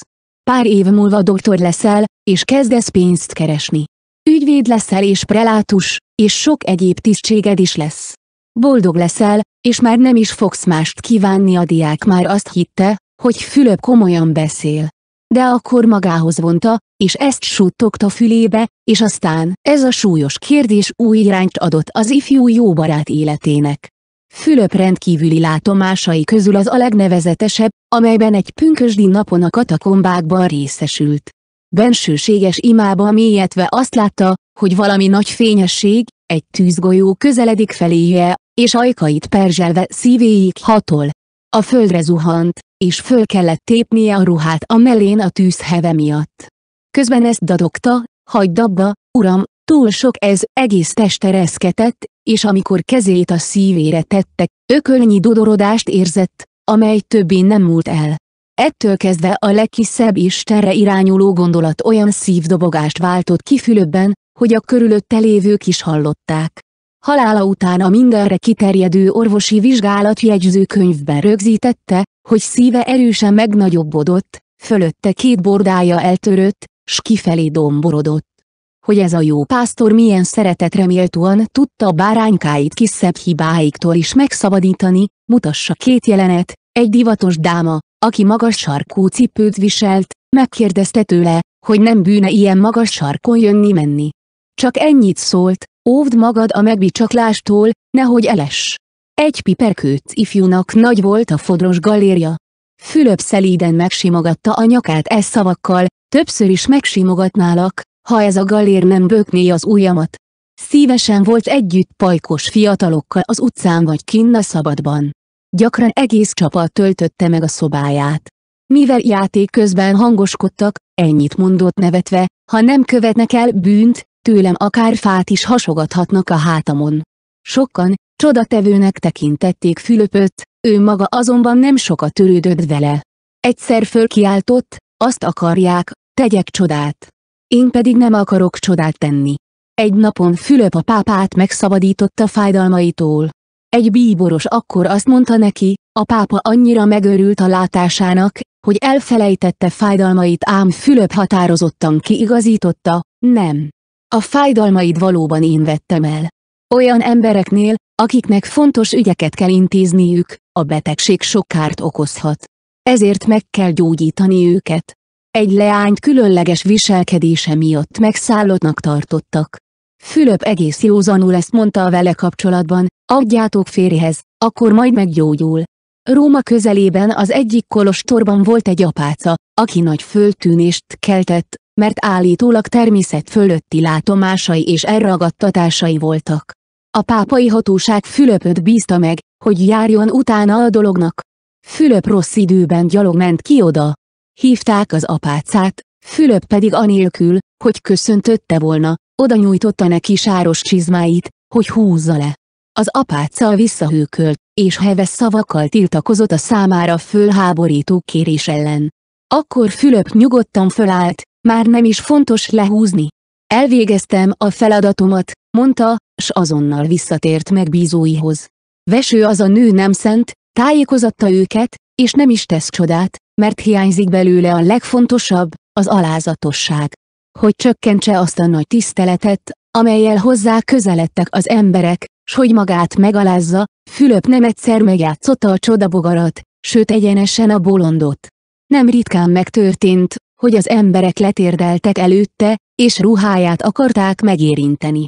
Ilyenkor odasúzott nekik, és heves szavak kíséretében elkergette őket. Ha asszonyok fogták körül, vette a szemüvegét, és sorban mindnek az orrára rakta. Ismerősöknek és ismeretleneknek állába, hajába vagy fülébe kapaszkodott. Időnként fordítva vette föl ruháját, máskor azt látták, hogy egy kötek bogáncsot tart a kezében, és megmegállva bolondos élvezettel szagolgatja. Nyilvános tereken táncolt, s ivott egy üvegből a házról házra járva kéregető Félix kapucinus testvérrel. Arcának csak egyik feléről vétette le a szakállat és félig borotváltan ugrándozva, táncolva járt az emberek közt. 1583. november 22-e reggelén érdekes menetet láttak a nevető rómaiak az utcákon vonulni. Elől zászlóként lobogtatott valaki egy lepedőt. Utána jöttek a többiek házi holmikkal, az egyik egy székkel, a következő egy seprővel, a harmadik a tűzgyújtó szerszámmal és így tovább. Az első oratoriánusok költöztek új házukba. Csak Fülöp öreg macskáját hagyták ott, amely a templom raktárában az egereket fogdosta. 1595 úrnapjának estéjén azt mondta mosolyogva lakótársainak, most meg kell halnom azután lefeküdt. Veső nem félsz, kérdezte az egyik testvér. Fülöp megrázta a fejét, és derűsen azt mondta, nem, nem félek. Isten jó. Majd egy kis elnézéssel lesz az ő ostoba és haszontalan Fülöpjével szemben. Istenünk, ki hűséges szolgáidat szentjeit közé fölmagasztalod, kérünk, add, hogy a Szentlélek minket is gyújtson lángra a szeretetnek azzal a tüzével, amely Néri Szent Fülöp szívét oly csodálatosan izzóvá tette. Canterbury Szent Ágoston május 27. Plusz 604. május 26. Nagy Szent Gergely pápa 596-ban a római szerzetest, Ágostont küldte el 40 társával, hogy hirdessék az evangéliumot Dél-Kelet-Angliában a kenti népnek. Kent királyságát abban az időben Ethelbert kormányozta, akit Dél-Anglia többi királya elismert fölöttesének. Ethelbert néhány évvel korábban feleségül vette Berta Frank hercegnőt, Párizsi Haribert király leányát. Berta magával hozott Kentbe egy Liuthard nevű frank püspököt, aki Canterburin kívül egy római templomot magánkápolnaként használt. Arról azonban nincs tudomásunk, hogy akár a püspök, akár a királyné megkísérelte volna Ethelbertnek vagy népének megtérítését. Róma angliai missziójának kezdetei homályba vesznek. Béda Anglia Egyház története című műve az egyetlen forrásunk. Ebben elbeszéli, hogy Gergely Rómában angol rabszolgákat látott, és ettől fogva dédelgette azt a vágyat, hogy Angliában is hirdessék az evangéliumot. de semmi sem történt ebben az irányban mindaddig, amíg 590-ben ő maga nem lett a pápa. Világos, hogy a kezdeményezés Gergelytől eredt, és a vezető, akit ehhez a vállalkozáshoz kiválasztott, saját kolostorának a priorja volt. 596 tavaszán Ágoston társaival tengeri úton indult Galliába. Mivel a vállalkozást túl veszélyesnek látták, a partra szállás után társai vissza akartak fordulni, s erről levelet is küldtek a pápának. Gergely azonban nem engedett kérésüknek. Buzdította őket, hogy az egyszer már megkezdett vállalkozást ne adják föl, és megparancsolta nekik, hogy engedelmeskedjenek Ágostonnak, akit apátjuk tett. Ezen kívül levelet írt Galia püspökeinek, Ausztrasia és Burgundia uralkodóinak, és kérte őket, hogy legyenek a misszionáriusok segítségére, adjanak melléjük papokat tolmácsul. Ágoston erősen kézben tartotta a vezetést. Még francia országi útjuk közben püspökké szentelték 597 kezdetén társaival partra szállt Tanet szigetén, Kent keleti partja előtt. Helbert Tanet szigetén fogadta a misszionáriusokat. Az első találkozás kedvezően sikerült. Ágoston beszéde jó benyomást tett a királyra, engedélyt adott a térítőknek, hogy tanítsanak. Canterburyben maga jelölt ki számukra szállást, és megígérte, hogy gondoskodik ellátásukról. Hamarosan megtörténtek az első megtérések. Még 597 pünkösdje előtt maga a király is megkeresztelkedett, de nem akarta, amint Béda mondja, alatvalóit kényszeríteni, hogy példáját kövessék, mert megtanulta, hogy a keresztény hitet szabadon kell elfogadni. Megtérése és Ágoston apát meggyőző ereje mégis elérte, hogy karácsonykor tízezer megtérőt keresztelhettek meg. Ágoston két társát, Lőrincet és Pétert Rómába küldte, hogy tájékoztassák a pápát a misszió sikeréről, egyben tanácsot kért különféle problémákkal kapcsolatban. A követek csak 601-ben tértek vissza, egy csapat újabb misszionárius kíséretében, s meghozták Ágoston számára az érseki palliumot. Hoztak ezen kívül Isten tiszteleti edényeket, eszközöket és ruhákat, templom felszereléshez szükséges egyéb tárgyakat, apostol és vértanú erekjéket és számos könyvet. És alapos választ hoztak Ágoston kérdéseire, aki azt a megbízatást kapta, hogy papjaival és klerikusaival éljen közös életet, szerzetesei számára azonban alapítson külön kolostort. Továbbá a gal és a római egyház szokásai alapján saját liturgiát kellett összeállítania, úgy, ahogyan a legcélszerűbbnek látja. Azzal is megbízta a pápa, hogy szükség szerint még 12 püspököt szenteljen, egy püspököt pedig küldjön Yorkba, a Northumbria királyságba, aki engedélyt kapott, hogy a maga részéről is további 12 püspököt szenteljen. A pápának ezek az átfogó tervei természetesen, teljesen, távol jártak a realitástól. Azt mutatják, hogy a pápának nem volt áttekintése az angliai helyzetről. Az első misszionáriusok csak egy generációval Ágoston halála után léphettek Northumbria földjére. A következő évek folyamán Ágoston Rohesterben állított föl püspökséget és Justus tette püspökévé, aztán egy harmadikat Londonban, ennek Mellitus lett a püspöke. Számára Ethelbert király templomot építette Szent Pál apostol tiszteletére. Canterbury mellett emeltetett Ágoston egy Szent Péter és Pál tiszteletére szentelt kolostort. A városban saját székes egyháza mellett iskolát alapított jövendő papságának kiképzésére. Ezekben az években szenvedte el egyetlen súlyos kudarcát. A pápa egész Angliára kiterjesztette Ágoston joghatóságát, ugyanakkor megbízta, hogy ennek megfelelően vegye gondjaiba a római időkből maradt brit keresztényeket. Ezek az angolok, szászok és jütök inváziója óta az egyház többi részétől elkülönülve éltek a nyugati országrészekben. Ágoston őket is meg akarta nyerni a missziós munkára. Helbert király segítségével konferenciát szervezett a brit püspökök és tanult emberek egy csoportjával, és előadta nekik elgondolásait. Gondolkodási időt kértek.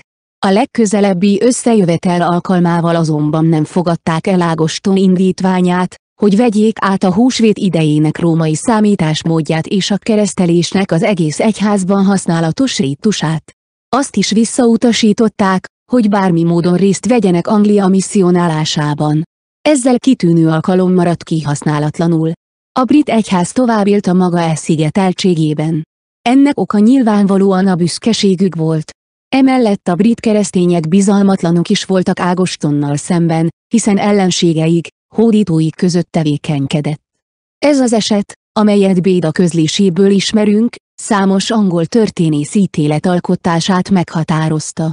Kevés kivétellel csak jelentéktelen érdemet tulajdonítanak Ágostonnak Anglia megtérítésében. Pedig, ha közelebbről megvizsgáljuk, figyelemre méltó teljesítmény volt, amit végbe vitt. Mire meghalt, valószínűleg 604-ben, megtérítette Kent királyát és népéből több ezer embert, alapított három püspökséget és legalább egy kolostort. Létesített egy iskolát, amely néhány éven belülben szülött püspököket és papokat képzett az új egyháznak. Természetesen helyes az az állítás, hogy Ágoston nem térítette meg Angliát. Ahhoz ugyanis legalább egy évszázad munkája kellett. Az ő missziója Kent udvarára és királyságára terjed ki, ahol tartós sikereket mondhat magáinak. Béda egyház történetében van egy jellemző hely, amelyben arról tudósít, hogy milyen volt az egyház helyzete Canterburyben az Ágoston halálát követő években. Béda leírja, hogy Lőrinc, Ágoston utóda, amikor Canterburybe jött, látta, hogy ennek az egyháznak az alapjai a legjobb állapotban vannak. Pál apostolhoz hasonlóan Ágoston ültetett ott, ahol másoknak kellett aratniok. Az ő feladata az volt, hogy lerakja az egyház alapjait Angliában. Béda szavai tanúsítják, valóban méltó arra, hogy az angol nép apostolának nevezzük. 8. századi kéziratok tanúsága szerint 604. vagy 605. május 26-án temették el. Ünnepét 1882-ben vették föl a római naptárba, május 28-ra, 1969-ben áthelyezték május 27-re. Béda elmondja, milyen esemény adta az alkalmat a római bencések missziójának elindulásához. Gergely, még mielőtt pápa lett, a római piacon szőke, kékszemű rabszolgákat látott. Kérdésére megtudta, hogy angolok. Erre, a nevükre célozva, kijelentettek, igazán, angyalokák kell lenniük. Amikor Ágoston kísérőivel Kent földjére lépett, találkozót kért a királlyal és a törzs főnökökkel. Attól félve, hogy az idegenek varázslattal elbűvölhetik őket, Ethelbert nyílt erdei tisztást jelölt ki találkozó helyül. Kísérete tagjai között állva fogadta a szerzeteseket, akik körmenetben, litániát énekelve foglalták el helyüket. Ágoston megtartotta első beszédét, és annak hatása nem maradt el. Később is, amikor Ágoston már érseke volt az óriási, csak félig meddig megtért egyházmegyének, egész természetességgel magára vállalta a misszionáriusok fáradozásait. Gyalog vándorolt vidékről vidékre, minden nap más hallgatóságot gyűjtve maga mellé. Éjszakánként gyakran csak az erdők fái alatt talált menedéket. Beszédével nem mindig volt képes a karthoz szokott férfiakat Krisztus követésére megnyerni. Nagy reményekkel várta azt a napot, amikor papok püspökök jöttek Velszből. A brit törzsektől jöttek, amelyek már évszázadok óta keresztények voltak, a bevándorolt, angol szászok azonban legyőzték és visszaszorították őket. Ágoston szerette volna megnyerni őket. Egy hatalmas tölgy alatt gyűltek össze, amelyet még sokkal később is Ágoston tölgyének hívtak. Nyomatékosan kérte hittestvéreit, hagyjanak föl különleges szokásaikkal és lépjenek vele szövetségre az evangélium hirdetésére. De ők bizalmatlanok maradtak, és elutasították az ajánlatot. Míg amikor Ágoston csodát tett előttük, egy vaknak visszaadta látását, abban sem ismerték föl Isten hívását. Az angol szászok elleni gyűlöletük erősebbnek bizonyult, mint a hitük. Istenünk, ki Szent Ágoston püspököd ige hirdetése révén vezetted Britannia népét az evangélium világosságára, kérünk, add, hogy apostoli munkájának gyümölcsei maradandók legyenek egyházadban. Szent Johanna, Jeanne Diarty május 30. Domcsmi, 1413 körül plusz Rowan, 1431 május 30. Jeanne Diarty valószínűleg 1413 vízkeresztjének napján született a Maas folyó menti kis faluban, Domcsmiben. Szülei Hampagneból bevándorolt, nem éppen szegény parasztok voltak. Apja, Jackves Diarty községi előjáró volt. Édesanyját Isabellenek vagy Zabilletnek hívták, de volt egy mellékneve is, Romie. Így nevezték azokat, akik megjárták Rómát, vagy más távoli helyre zarándokoltak.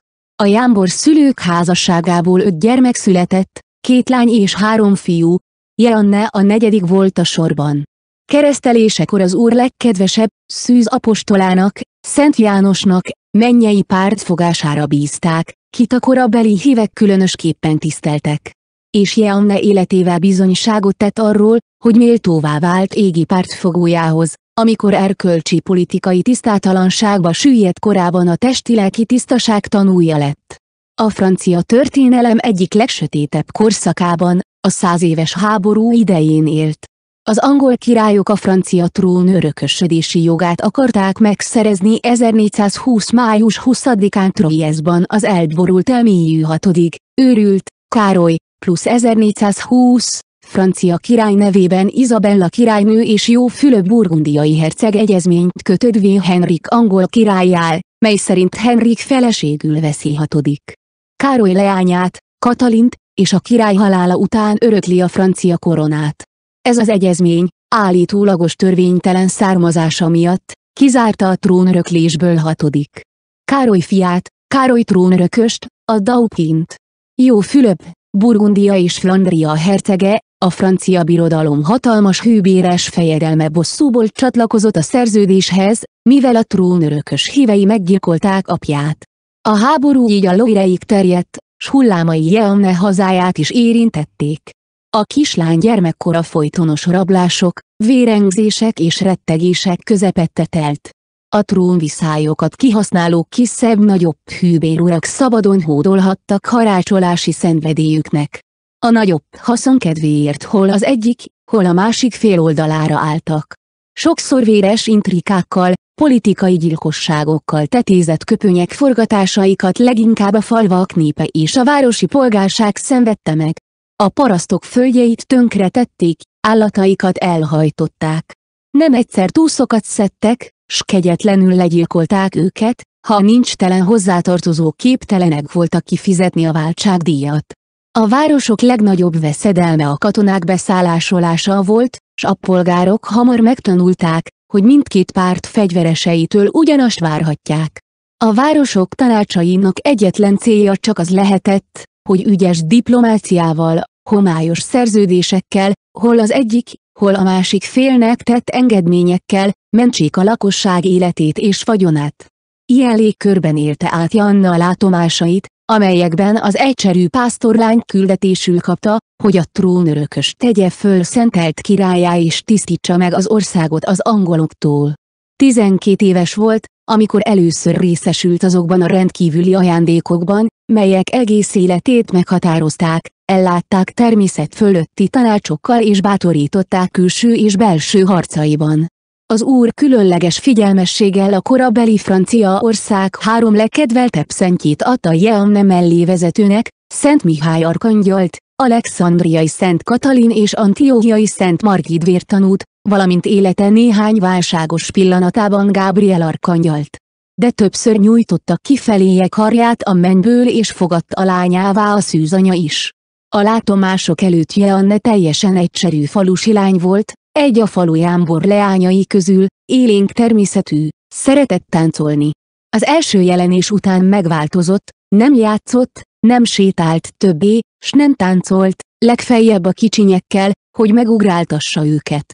Visszahúzódott a mezei munkától és a pásztorkodástól, s kivételes buzgósággal kezdte gyakorolni hitét, gyakran gyónt, naponta hallgatott szentmisét, rendkívül jáhítattal járult a szent áldozáshoz. A nap bármely percében megtalálhatták a templomban, amint arccal a padlóra borulva vagy térdelve imádkozott, máskor szemét Krisztus Urunk vagy a szűzanyag képmására szegezte. Látomásaiban a szentet Isten leányának szólították, s buzdították, hogy legyen jó. Majd miután lelki élete kellőkép elmélyült, tudatták vele konkrét feladatát, mely minden látszat ellenére koráncsien politikai jellegű volt. Amint maga Janne hangoztatta, ő francia ország igazi királyáért, Jézus Krisztusért indult harcba, hetedik. Károly, akit meg kellett koronáznia, Az országot csak kommendába, letétbe, kapja, s csupán képviselője az ország igazi urának, Krisztusnak. Hogy Jeanna az isteni hívásnak engedelmeskedhessen, kérlelhetetlenül szembe kellett szegülnie környezetével. Apja megfenyegette, hogy saját kezével folytja vízbe, a faluban gúnyolták, zavarodottnak, ördöngősnek tartották. Isten leánya egykedvűen fogadta mindezt, sárhatatosan követte a hangok legkisebb utasítását is. Fölkereste Baudricót lovagot, a közeli Vautoleusz várának parancsnokát, aki eleinte természetesen szóba sem állt vele. Végül azonban sikerült rábírnia, hogy adjon mellé egy kis csapatot, melynek kíséretében a trónörököshöz mehet. Férfi ruhát öltött, hogyan is forgolódhatott volna másképp tartósan a férfi nép között. Vesős így lovagolt az ellenség megszállt a területen keresztül minden baj nélkül Hinomba a Dauphinhez. Károly, aki könnyen befolyásolható, ingatag ember volt, környezete sugallatára bizalmatlanul fogadta őt. Letette királyi ruháját, s nemesi öltözetben elvegyült a főóra közt, hogy a boszorkány ne ismerje föl. Boszorkány helyett azonban szerény, egyszerű külsejű pásztorlány lépett a terembe. Egyenesen az áruhás királyhoz lépett, akit még soha sem látott, de azonnal fölismert. Térdre borult előtte és átkarolta lábait. A király fölkiáltott, nem én vagyok a király, hanem ez itt, és rámutatott egy úrra, akit a királyi színekbe öltöztettek. A lánya azonban nem tágított, hanem ünnepélyesen mondta, nemes trónörökös uram, az ege királya általam üzeni, hogy Reimsben királyá kenik és megkoronázzák önt. Amikor a király ezt követően magánkihallgatáson fogadta, megnyugtatta őt törvényes születését illetően, s föltárta előtette maga küldetését is. Károly mélyen vallásos volt, naponta gyónt és háromszor hallgatott szent misét mindvégig térden állva, s minden ünnepen szent áldozáshoz járult. Jeanne hivatásának elbírálását az egyház tekintélyére és tapasztalatára bízta, s fölkérésére Politiesben hat hétig vizsgálták Jeanne szavahihetőségét.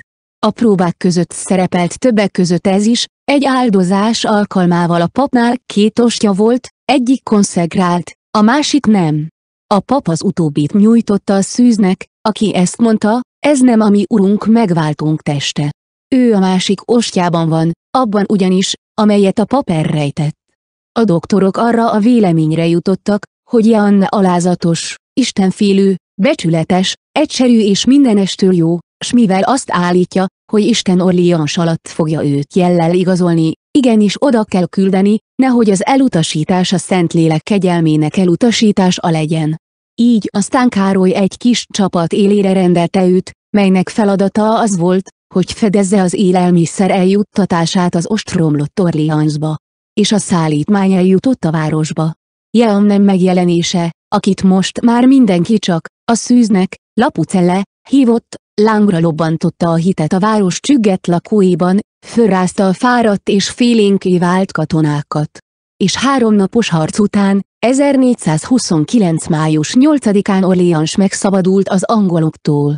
Ez az első eredmény megszerezte az ismert pénzember, Floeur anyagi támogatását a rendkívül nehéz loirei hadjárathoz 1429. június 18-án a Patai csatában az angolokat loirementi állásaik föladására és elhagyására kényszerítették, parancsnokuk, Talbot elesett.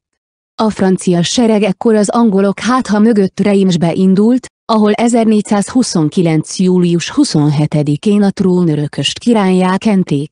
A szertartáson jelen volt Jeanne, kezében tartva mindvégig, mint ő maga mondta, a szeretet zászlaját, s károlt azzal a szent olajjal kenték királyá, amelyet egykor a Szentlélek hozott galamb képében Szent Remigius, plusz 533, Reimsi püspöknek a Frank Klodvig keresztelésére és koronázására. Ezzel hetedik Károly visszanyerte az angol királytól, hatodik. Henriktől a törvényes uralkodói jogot.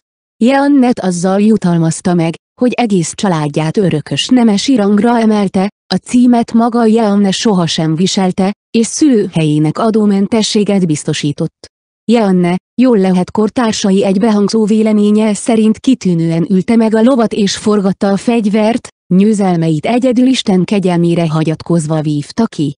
A hadisiker titkát a katonák lelkének kegyelmi állapotában találta meg.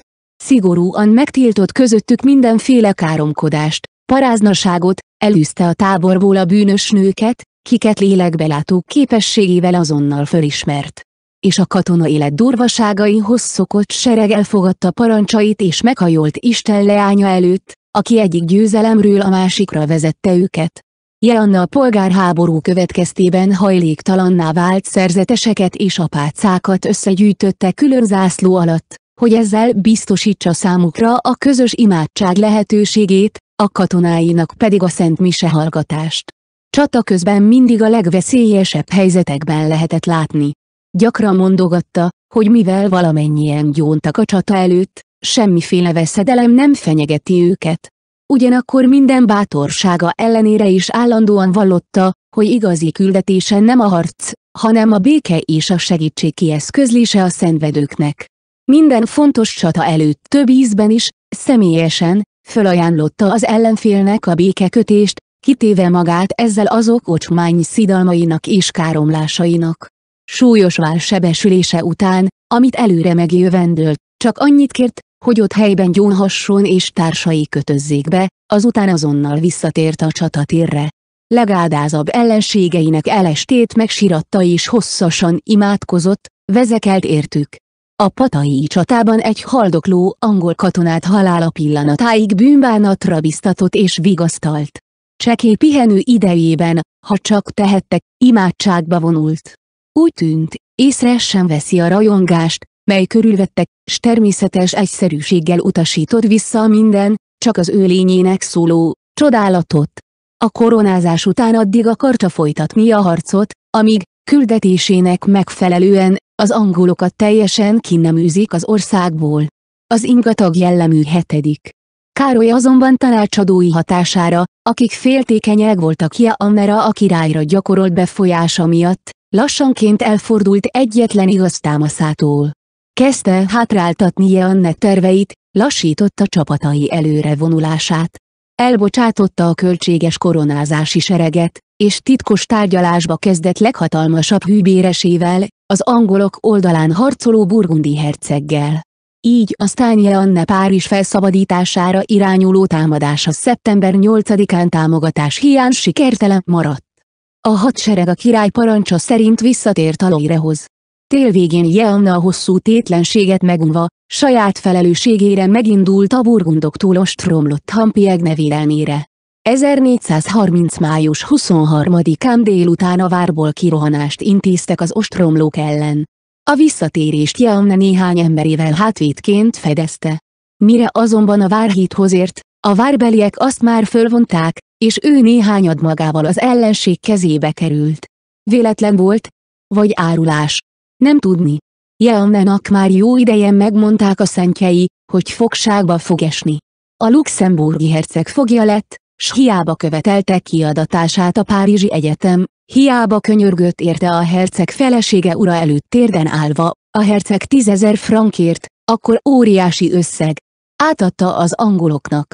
A hírre, hogy angol fogságba kerül, a szűz hirtelen megingásában és halál félelmében kivetette magát a vártoronyból, ahol fogva tartották.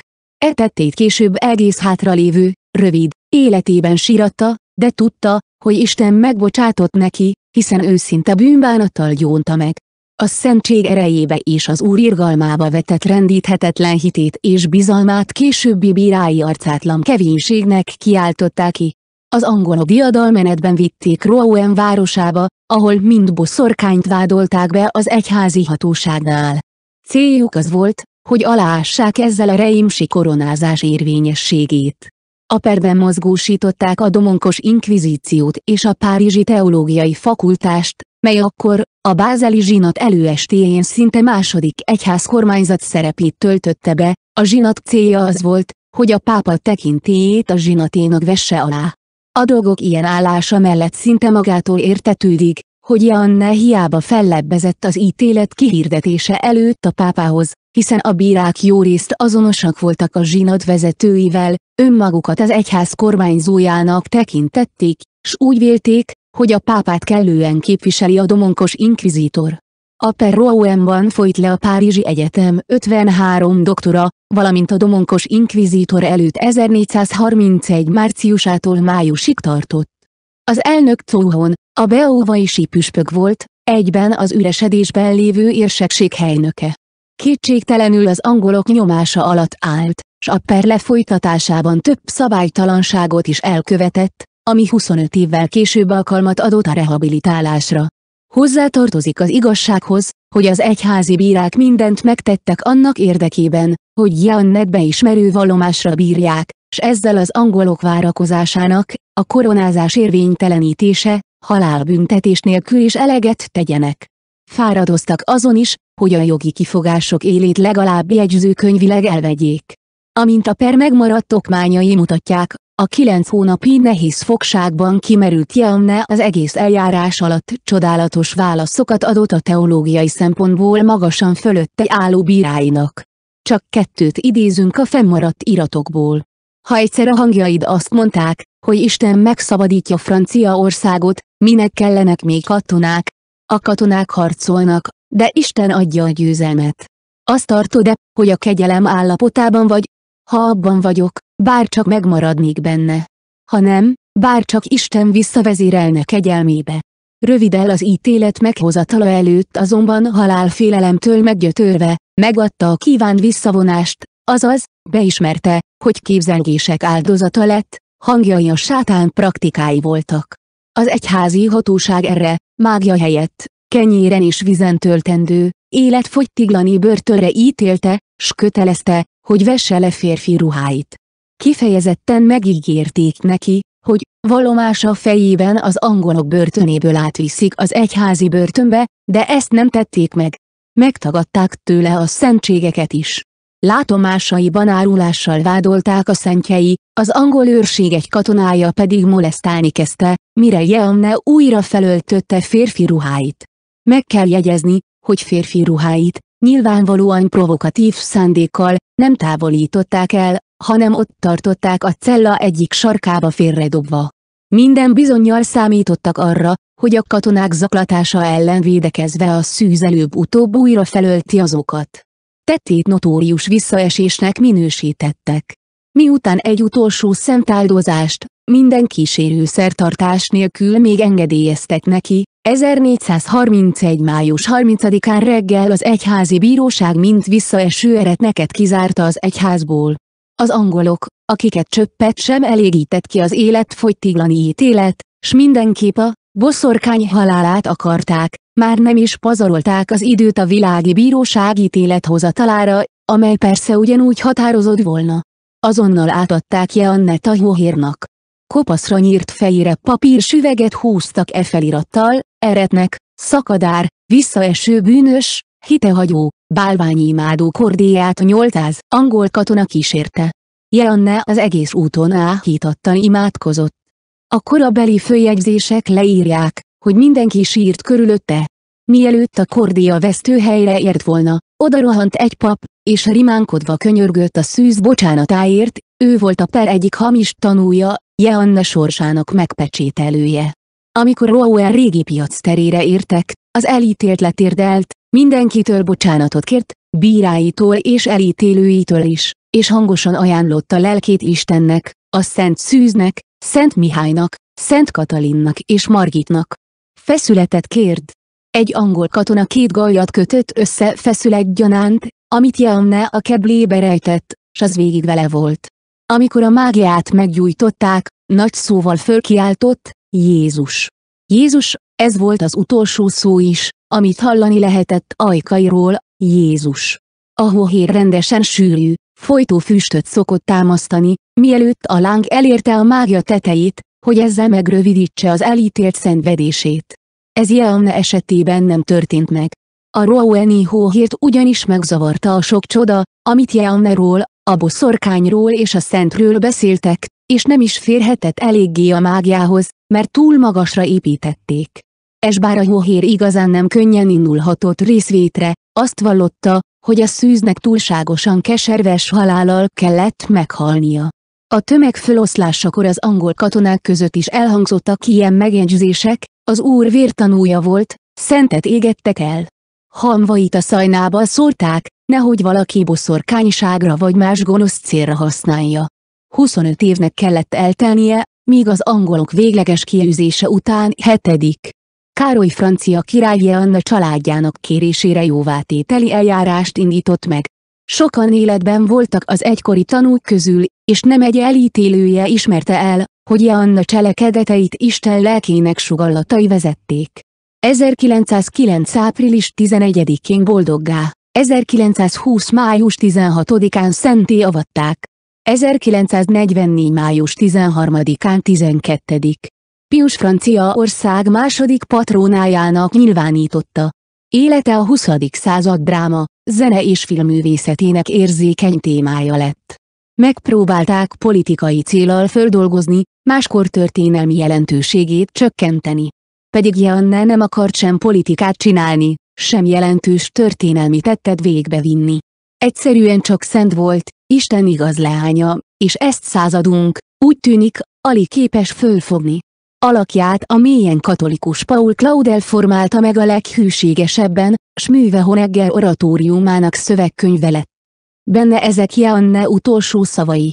Nincs más, csak az ének, és nincs nála erősebb, nincs más, csak az öröm, és nincs nála erősebb, nincs más, csak az Isten, és nincs nála erősebb, és a nép, korus, válasza, senkinek sincs nagyobb szeretete annál, aki életét adta a fele barátaiért.